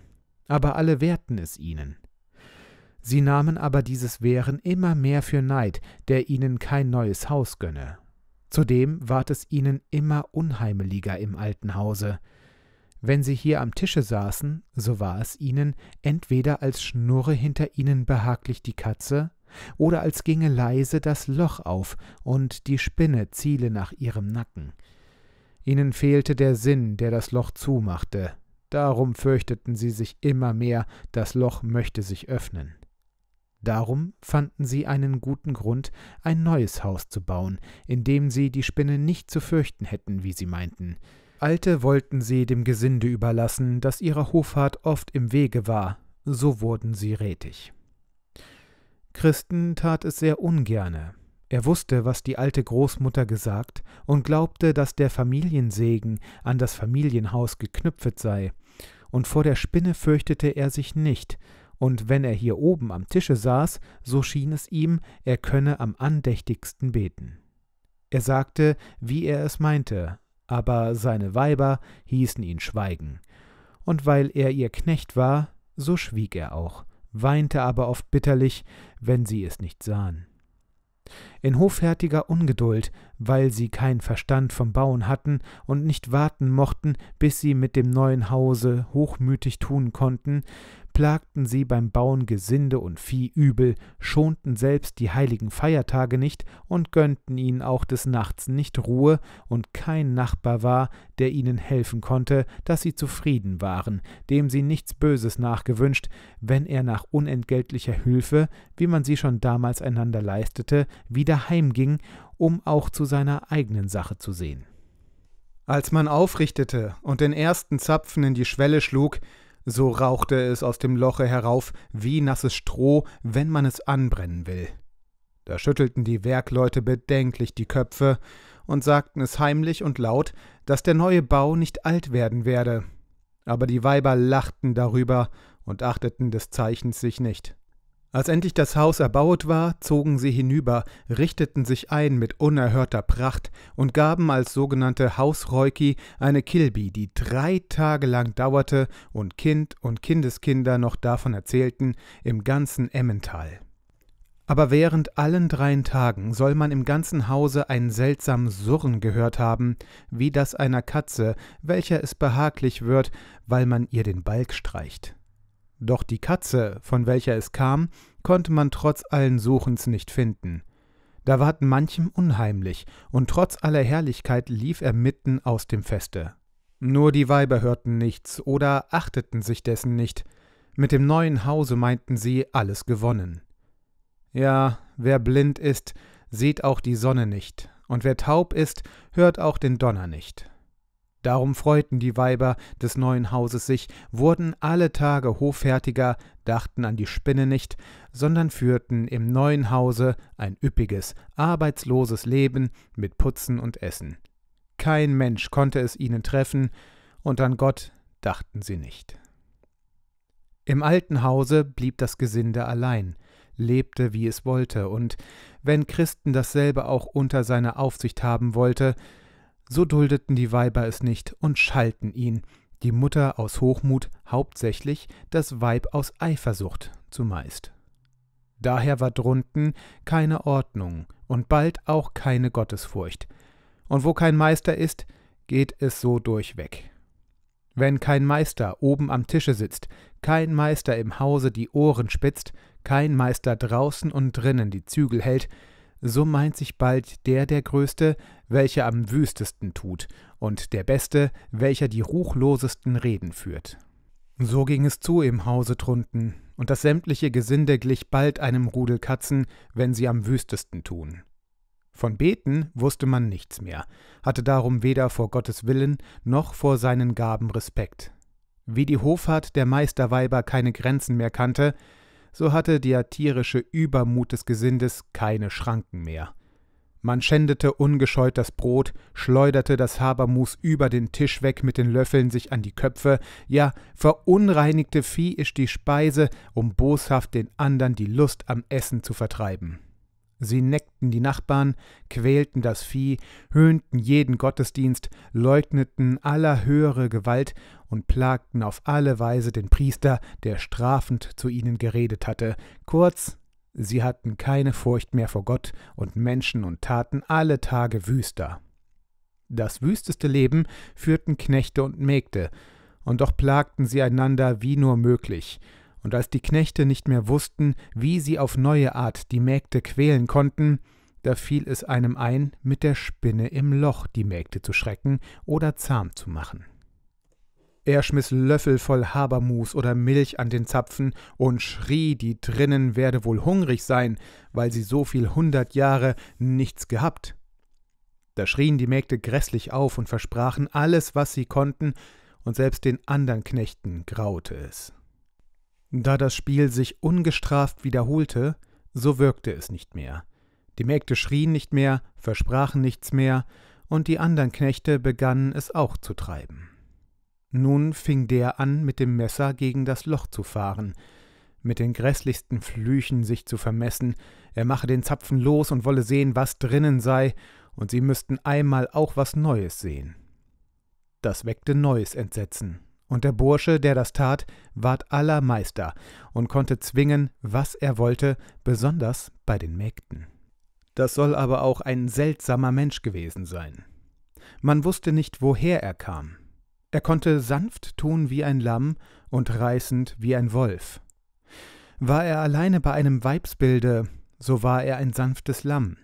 Vor der Gesellschaft aber war er wie ein reißender Wolf und tat, als ob er alle hasste, als ob er über alles auswolle mit wüsten Taten und Worten. Solche sollten den Weibsbildern aber gerade am liebsten sein. Darum entsetzten sich die Mägde öffentlich vor ihm, sollen ihn aber doch, wenn sie alleine waren, am liebsten von allen gehabt haben. Er hatte ungleiche Augen, aber man wusste nicht von welcher Farbe, und beide hassten einander, sahen nie den gleichen Weg, aber unter langem Augenhaar und demütigem Niedersehen wusste er es zu verbergen. Sein Haar war schön gelockt, aber man wusste nicht, war es rot oder falb.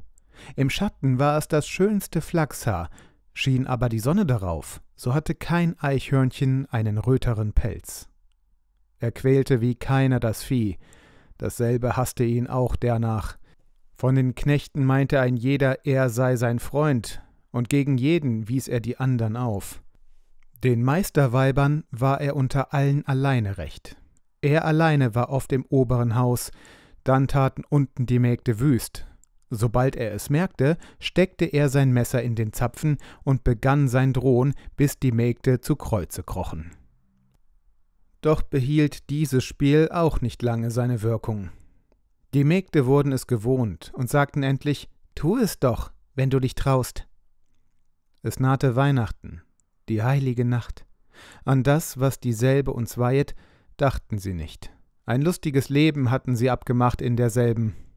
Im Schlosse drunten hauste ein alter Ritter nur, und der bekümmerte sich wenig mehr ums Zeitliche.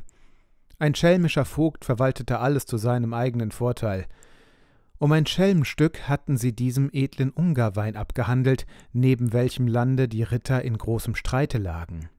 Des edlen Weines Kraft und Feuer kannten sie nicht.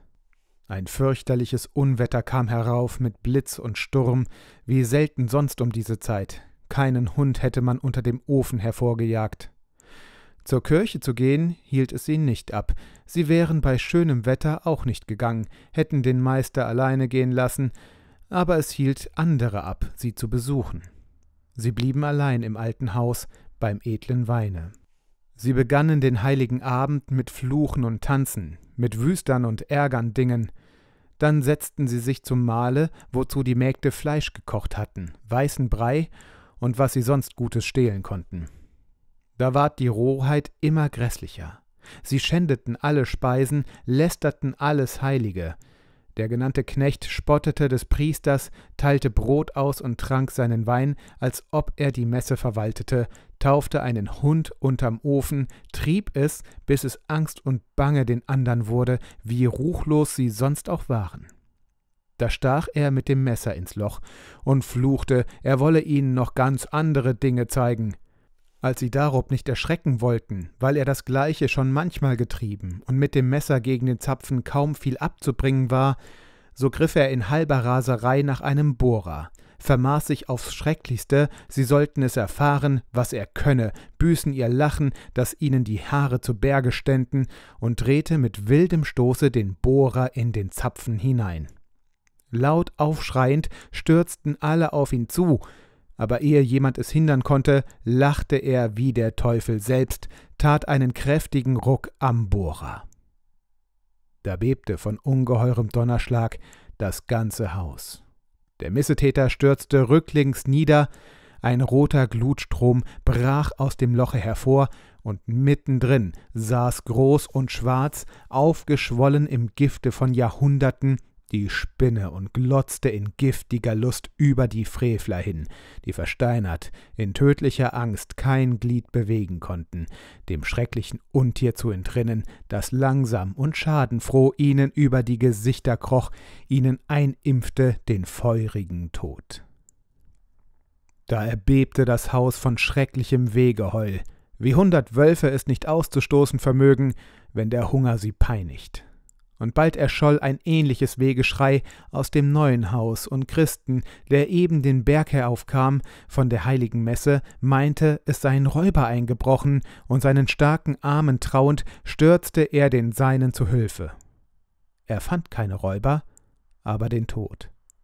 Mit diesem rangen Weib und Mutter und hatten schon keine Stimme mehr in den hoch aufgelaufenen schwarzen Gesichtern. Ruhig schlummerten seine Kinder, und gesund und rot waren ihre munteren Gesichter. Es stieg in Christen die schreckliche Ahnung dessen auf, was geschehen war. Er stürzte ins untere Haus, dort sah er die Diensten alle verendet, die Stube zur Totenkammer geworden, geöffnet das schauerliche Loch, in des scheußlich entstellten Knechtes Hand den Bohrer und auf des Bohrers Spitze den schrecklichen Zapfen. Jetzt wusste er, was geschehen war, schlug die Hände über dem Kopfe zusammen, und wenn die Erde ihn verschlungen hätte, so wäre es ihm recht gewesen. Da kroch etwas hinter dem Ofen hervor, schmiegte sich ihm an. Entsetzt fuhr er zusammen, aber es war nicht die Spinne, es war ein armes Bübchen, das er um Gottes willen ins Haus genommen und unter dem ruchlosen Gesinde gelassen hatte. Das hatte keinen Teil genommen an den Greueln des Gesindes, war erschreckt hinter den Ofen geflohen. Es allein hatte die Spinne verschont, es konnte nun den Hergang erzählen. Aber noch während das Bübchen erzählte, scholl durch Wind und Wetter Angstgeschrei von andern Häusern her. Wie in hundertjähriger, aufgeschwellter Lust flog die Spinne durch die Talschaft, las zuerst die üppigsten Häuser sich aus, wo man am wenigsten an Gott dachte, aber am meisten an die Welt, daher von dem Tod am wenigsten wissen mochte. Noch war es nicht Tag geworden, so war die Kunde in jeglichem Hause. Die alte Spinne sei losgebrochen, gehe aufs Neue todbringend um in der Gemeinde, Schon legen viele tot und hinten im Tal fahre Schrei um Schrei zum Himmel auf von Gezeichneten, die sterben müssten. Da kann man sich denken, welch Jammer im Lande war, welche Angst in allen Herzen, was das für eine Weihnacht war in Sumiswald. An die Freude, die sie sonst bringt, konnte keine Seele denken, und solcher Jammer kam vom Frevel der Menschen. Der Jammer aber ward alle Tage größer, denn schneller, Giftiger als das frühere Mal war die Spinne jetzt. Bald war sie zuvorderst, bald zuhinderst in der Gemeinde, auf den Bergen, im Tale erschien sie zu gleicher Zeit. Wie sie früher meist hier einen, dort einen gezeichnet hatte zum Tode, so verließ sie jetzt selten ein Haus, ehe sie alle vergiftet. Erst wenn alle im Tode sich wandten, setzte sie sich auf die Schwelle und glotzte schadenfroh in die Vergiftung, als ob sie sagen wollte, sie sei es und sei doch wieder da, wie lange man sie auch einsperrt. Es schien, als ob sie wüsste, ihr sei wenig Zeit vergönnt, oder als ob sie sich viel Mühe sparen wollte. Sie tat, wo sie konnte, viele auf einmal ab. Darum lauerte sie am liebsten auf die Wagen, welche die Toten zur Kirche geleiten wollten. Bald hier, bald dort, am liebsten unten am Kirchstalden, tauchte sie mitten in den Haufen auf und glotzte plötzlich vom Sarge herab auf die Begleitenden. Da fuhr dann ein schreckliches Wehgeschrei zum Himmel auf. Mann um Mann fiel nieder, bis alle Begleitenden am Wege lagen und rangen mit dem Tode, bis kein Leben mehr unter ihnen war und um den Sarg ein Haufen Toter lag, wie tapfere Krieger um ihre Fahne liegen, von der Übermacht erfasst. Da wurden keine Toten mehr zur Kirche gebracht. Niemand wollte sie tragen, niemand geleiten. Wo der Tod sie streckte, da ließ man sie liegen. Verzweiflung lag überm ganzen Tale. Wut kochte in allen Herzen, strömte in schrecklichen Verwünschungen gegen den armen Christen aus. An allem sollte er jetzt schuld sein. Jetzt auf einmal wussten alle, dass Christen das alte Haus nicht hätte verlassen, das Gesinde nicht sich selbst überlassen sollen. Auf einmal wussten alle, dass der Meister für sein Gesinde mehr oder minder verantwortlich sei, dass er wachen solle über Beten und Essen, wehren solle gottlosem Leben, gottlosen Reden und gottlosem Schänden der Gaben Gottes. Seltsam, jetzt war allen auf einmal Hoffart und Hochmut vergangen. Sie taten diese Laster in die unterste Hölle hinunter und hätten es kaum Gott geglaubt, dass sie dieselben noch vor wenigen Tagen so schmählich an sich getragen. Sie waren alle wieder fromm, hatten die schlechtesten Kleider an und die alten verachteten Rosenkränze wieder in den Händen und überredeten sich selbst, sie seien immer gleich fromm gewesen, und an ihnen fehlte es nicht, dass sie Gott nicht das gleiche überredeten. Christen allein unter ihnen allen sollte gottlos sein, und Flüche wie Berge kamen von allen Seiten auf ihn her. Und war er doch vielleicht unter allen der Beste, aber sein Wille lag gebunden in seiner Weiber Willen. Und dieses Gebundensein ist allerdings eine schwere Schuld für jeden Mann, und schwerer Verantwortung entrinnt er nicht, weil er anders ist, als Gott ihn will. Das sah Christen auch ein. Darum war er nicht trotzig, pochte nicht, gab sich schuldiger dar, als er war, aber damit versöhnte er die Leute nicht, Erst jetzt schrien sie einander zu, wie groß seine Schuld sein müsste, da er so viel auf sich nehme, so weit sich unterziehe, es selbst bekenne, er sei nichts wert. Er aber betete Tag und Nacht zu Gott, dass er das Übel wende, aber es ward schrecklicher von Tag zu Tag. Er ward es inne, dass er gut machen müsse, was er gefehlt, dass er sich selbst zum Opfer geben müsse, dass an ihm liege die Tat, die seine Ahnfrau getan. Er betete zu Gott, bis ihm so recht feurig im Herzen der Entschluss emporwuchs, die Talschaft zu retten, das Übel zu sühnen, und zum Entschluss kam der standhafte Mut, der nicht wankt, immer bereit ist zur gleichen Tat, am Morgen wie am Abend. Da zog er herab mit seinen Kindern aus dem neuen Hause ins alte Haus, schnitt zum Loch einen neuen Zapfen, ließ ihn weihen mit heiligem Wasser und heiligen Sprüchen, legte zum Zapfen den Hammer, setzte zu den Betten der Kinder sich und harrte der Spinne. Da saß er, betete und wachte und rang mit dem schweren Schlaf festen Mutes und wankte nicht. Aber die Spinne kam nicht, ob sie sonst allenthalben war, denn immer größer war das Sterben, immer wilder die Wut der Überlebenden. Mitten in diesen Schrecken sollte ein wildes Weib ein Kind gebären. Da kam den Leuten die alte Angst, ungetauft möchte die Spinne das Kindlein holen, das fand ihrer alten Pacht. Das Weib gebärdete sich wie unsinnig, hatte kein Gottvertrauen, desto mehr Hass und Rache im Herzen. Man wusste, wie die Alten gegen den Grünen sich geschützt vor Zeiten, wenn ein Kind geboren werden sollte, wie der Priester der Schild war, den sie zwischen sich und den ewigen Feind gestellt. Man wollte auch nach dem Priester senden, aber wer sollte der Bote sein? Die unbegrabenen Toten, welche die Spinne bei den Leichenzügen erfasst, sperrten die Wege, und würde wohl ein Bote über die wilden Höhen der Spinne, die alles zu wissen schien, entgehen können, wenn er den Priester holen wollte? Es zagten alle. Da dachte endlich der Mann des Weibes, wenn die Spinne ihn haben wolle, so könne sie ihn daheim fassen, wie auf dem Wege. Wenn ihm der Tod bestimmt sei, so entrinne er ihm nicht hier und nicht dort.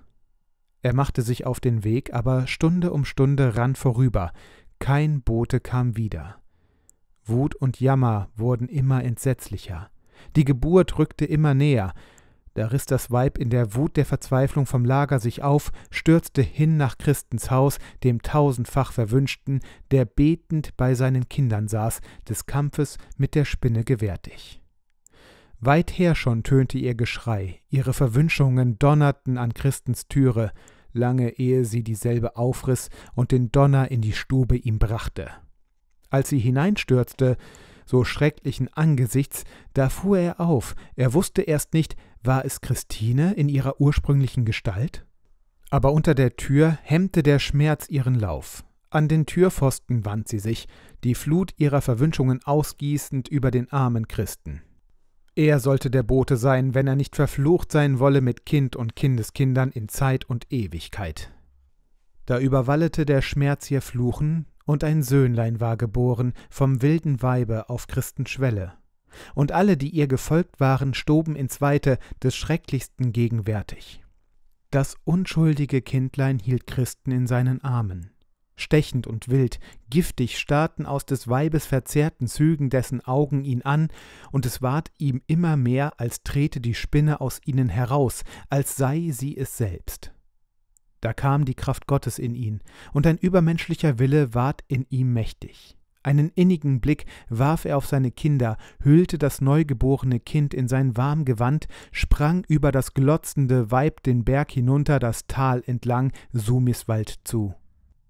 Zur heiligen Weihe wollte er das Kindlein selbst tragen, zur Sühne der Schuld, die auf ihm lag, dem Haupte seines Hauses, das übrige überließ er Gott. Tote hemmten seinen Lauf, vorsichtig musste er seine Tritte setzen. Da eilte ihn ein leichter Fuß, es war das arme Bübchen, dem es graute bei dem wilden Weibe, das ein kindlicher Trieb dem Meister nachgetrieben. Wie Stacheln fuhr es durch Christens Herz, dass seine Kinder allein bei dem wütenden Weibe seien, aber sein Fuß stund nicht stille, strebte dem heiligen Ziele zu. Schon war er unten am Kirchstalden, hatte die Kapelle im Auge, da glühte es plötzlich vor ihm mitten im Wege. Es regte sich im Busche, im Wege saß die Spinne, im Busche wankte rot ein Federbusch, und hoch hob sich die Spinne wie zum Sprunge. Da rief Christen mit lauter Stimme zum dreieinigen Gott, und aus dem Busche tönte ein wilder Schrei. Es schwand die rote Feder, in des Bübchens Armen legte er das Kind und griff, dem Herrn seinen Geist empfehlend, mit starker Hand die Spinne, die wie gebannt durch die heiligen Worte sitzen blieb. Glut strömte durch sein Gebein, aber er hielt fest. Der Weg war frei und das Bübchen verständigen Sinnes eilte dem Priester zu mit dem Kinde. Christen aber, Feuer in der starken Hand, eilte geflügelten Laufes seinem Hause zu. Schrecklich war der Brand in seiner Hand, der Spinnegift drang durch alle Glieder, zur Glut ward sein Blut. Die Kraft wollte erstarren, der Atem stocken, aber er betete fort und fort, hielt Gott fest vor Augen, hielt aus in der Hölle Glut. Schon sah er sein Haus, mit dem Schmerz wuchs sein Hoffen, unter der Türe war das Weib. Als dasselbe ihn kommen sah, ohne Kind, stürzte es sich ihm entgegen, einer Tigerin gleich, der man die Jungen geraubt. Es glaubte an den schändlichsten Verrat. Es achtete seines Winkens nicht, hörte nicht die Worte aus seiner keuchenden Brust, stürzte in seine vorgestreckten Hände, klammerte an sie sich an. In Todesangst musste er die Wütende schleppen zum Haus hinein, muss frei die Arme kämpfen, ehe es ihm gelingt, ins alte Loch die Spinne zu drängen, mit sterbenden Händen den Zapfen zu schlagen. Er vermag's, mit Gottes Hilfe. Den sterbenden Blick wirft er auf die Kinder, hold lächeln sie im Schlafe. Da wird es ihm leicht, eine höhere Hand schien seine Glut zu löschen, und laut betend schließt er zum Tode seine Augen, und Frieden und Freude fanden die auf seinem Gesicht, die vorsichtig und angstvoll kamen, zu schauen, wo das Weib geblieben. Erstaunt sahen sie das Loch verschlagen, aber das Weib fanden sie versenkt und verzehrt im Tode liegen. An Christens Hand hatte sie den feurigen Tod geholt. Noch standen sie und wussten nicht, was geschehen war, als mit dem Kinde das Bübchen wiederkehrte, vom Priester begleitet, der das Kind schnell getauft nach damaliger Sitte und wohlgerüstet und mutvoll dem gleichen Kampfe entgegengehen wollte, in dem sein Vorgänger siegreich das Leben gelassen. Aber ein solch Opfer forderte Gott nicht von ihm, den Kampf hatte schon ein anderer bestanden. Lange fassten die Leute nicht, welch große Tat Christen vollbracht. Als ihnen endlich Glaube und Erkenntnis kamen, da beteten sie freudig mit dem Priester, dankten Gott für das neu geschenkte Leben und für die Kraft, die er Christen gegeben. Diesem aber beteten sie im Tode noch ihr Unrecht ab und beschlossen, mit hohen Ehren ihn zu begraben, und sein Andenken stellte sich glorreich wie das eines Heiligen in aller Seelen.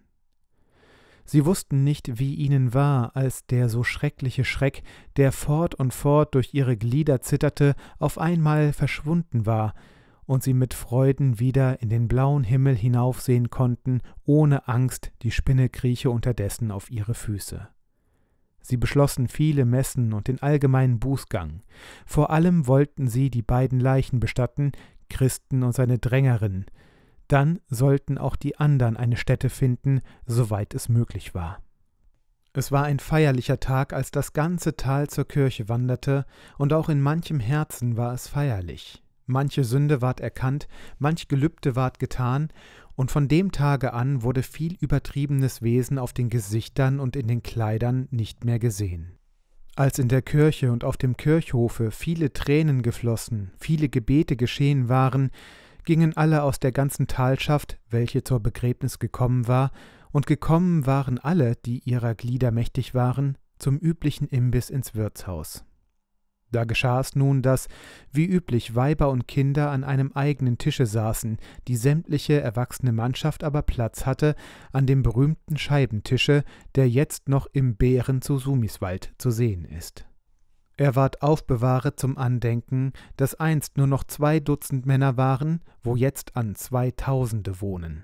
Zum Andenken, dass auch das Leben der Zweitausende in der Hand dessen stehe, der die zwei Dutzend gerettet.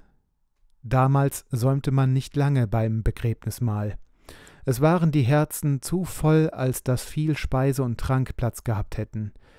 Als sie aus dem Dorfe hervor auf die freie Höhe kamen, sahen sie eine Röte am Himmel, und als sie heimkamen, fanden sie das neue Haus niedergebrannt bis auf den Boden.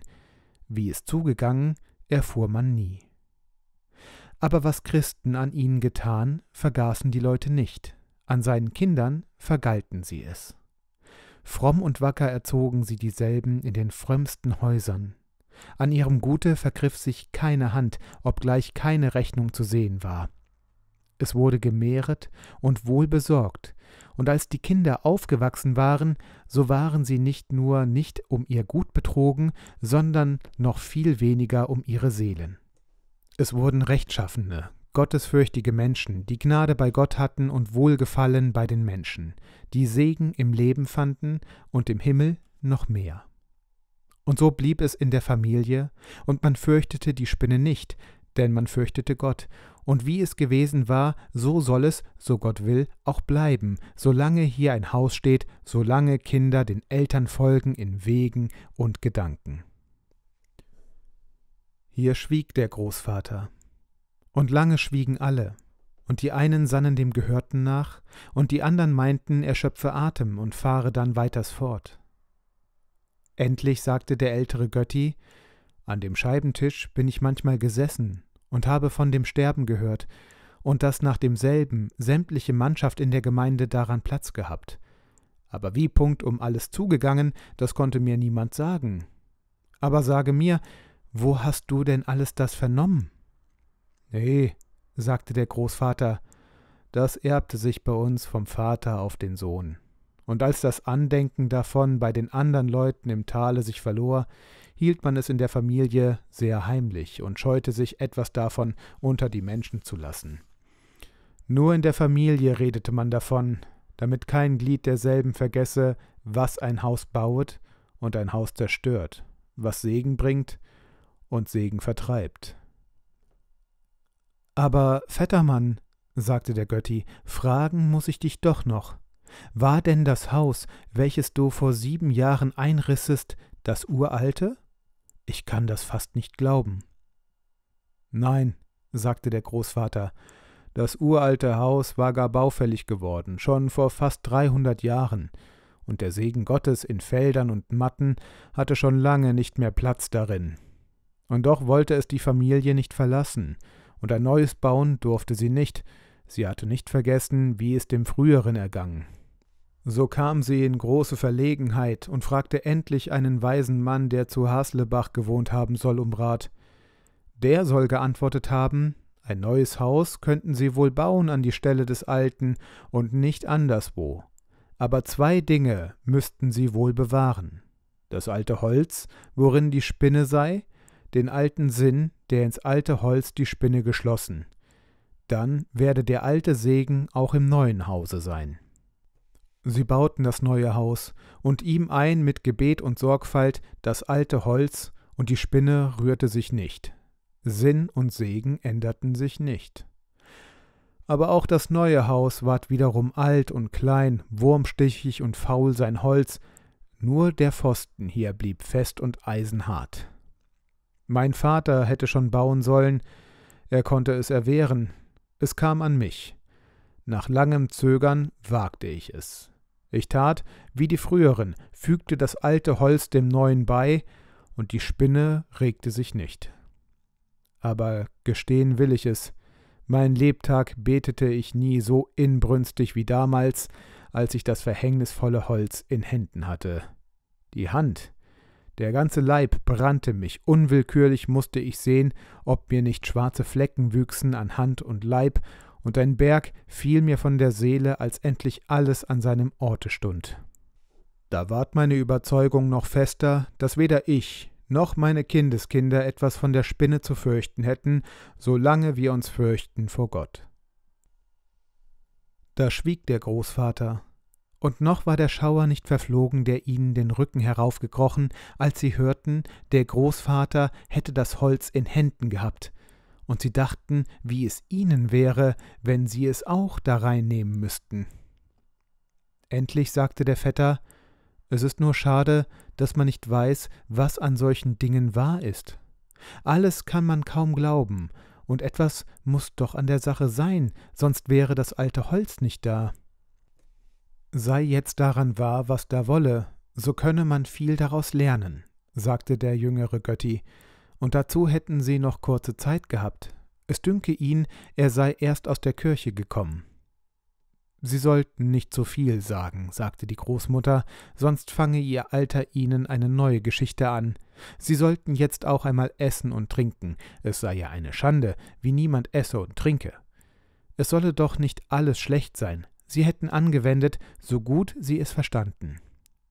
Nun ward viel gegessen, viel getrunken und zwischendurch gewechselt manche verständige Rede, bis groß und golden am Himmel der Mond stund die Sterne aus ihren Kammern traten, zu mahnen die Menschen, dass es Zeit sei, schlafen zu gehen in ihre Kämmerlein. Die Menschen sahen die geheimnisvollen Mahner wohl, aber sie saßen da so heimelig, und jedem klopfte es unheimlich unterm Brusttuch, wenn er ans Heimgehen dachte.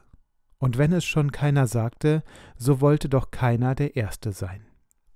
Endlich stund die Gotte auf und schickte mit zitterndem Herzen zum Weggehen sich an, doch es fehlte ihr an sichern Begleitern nicht, und miteinander verließ die ganze Gesellschaft das gastliche Haus mit vielem Dank und guten Wünschen, allen Bitten an Einzelne, an die Gesamtheit, doch noch länger zu bleiben, es werde ja nicht finster, zum Trotz.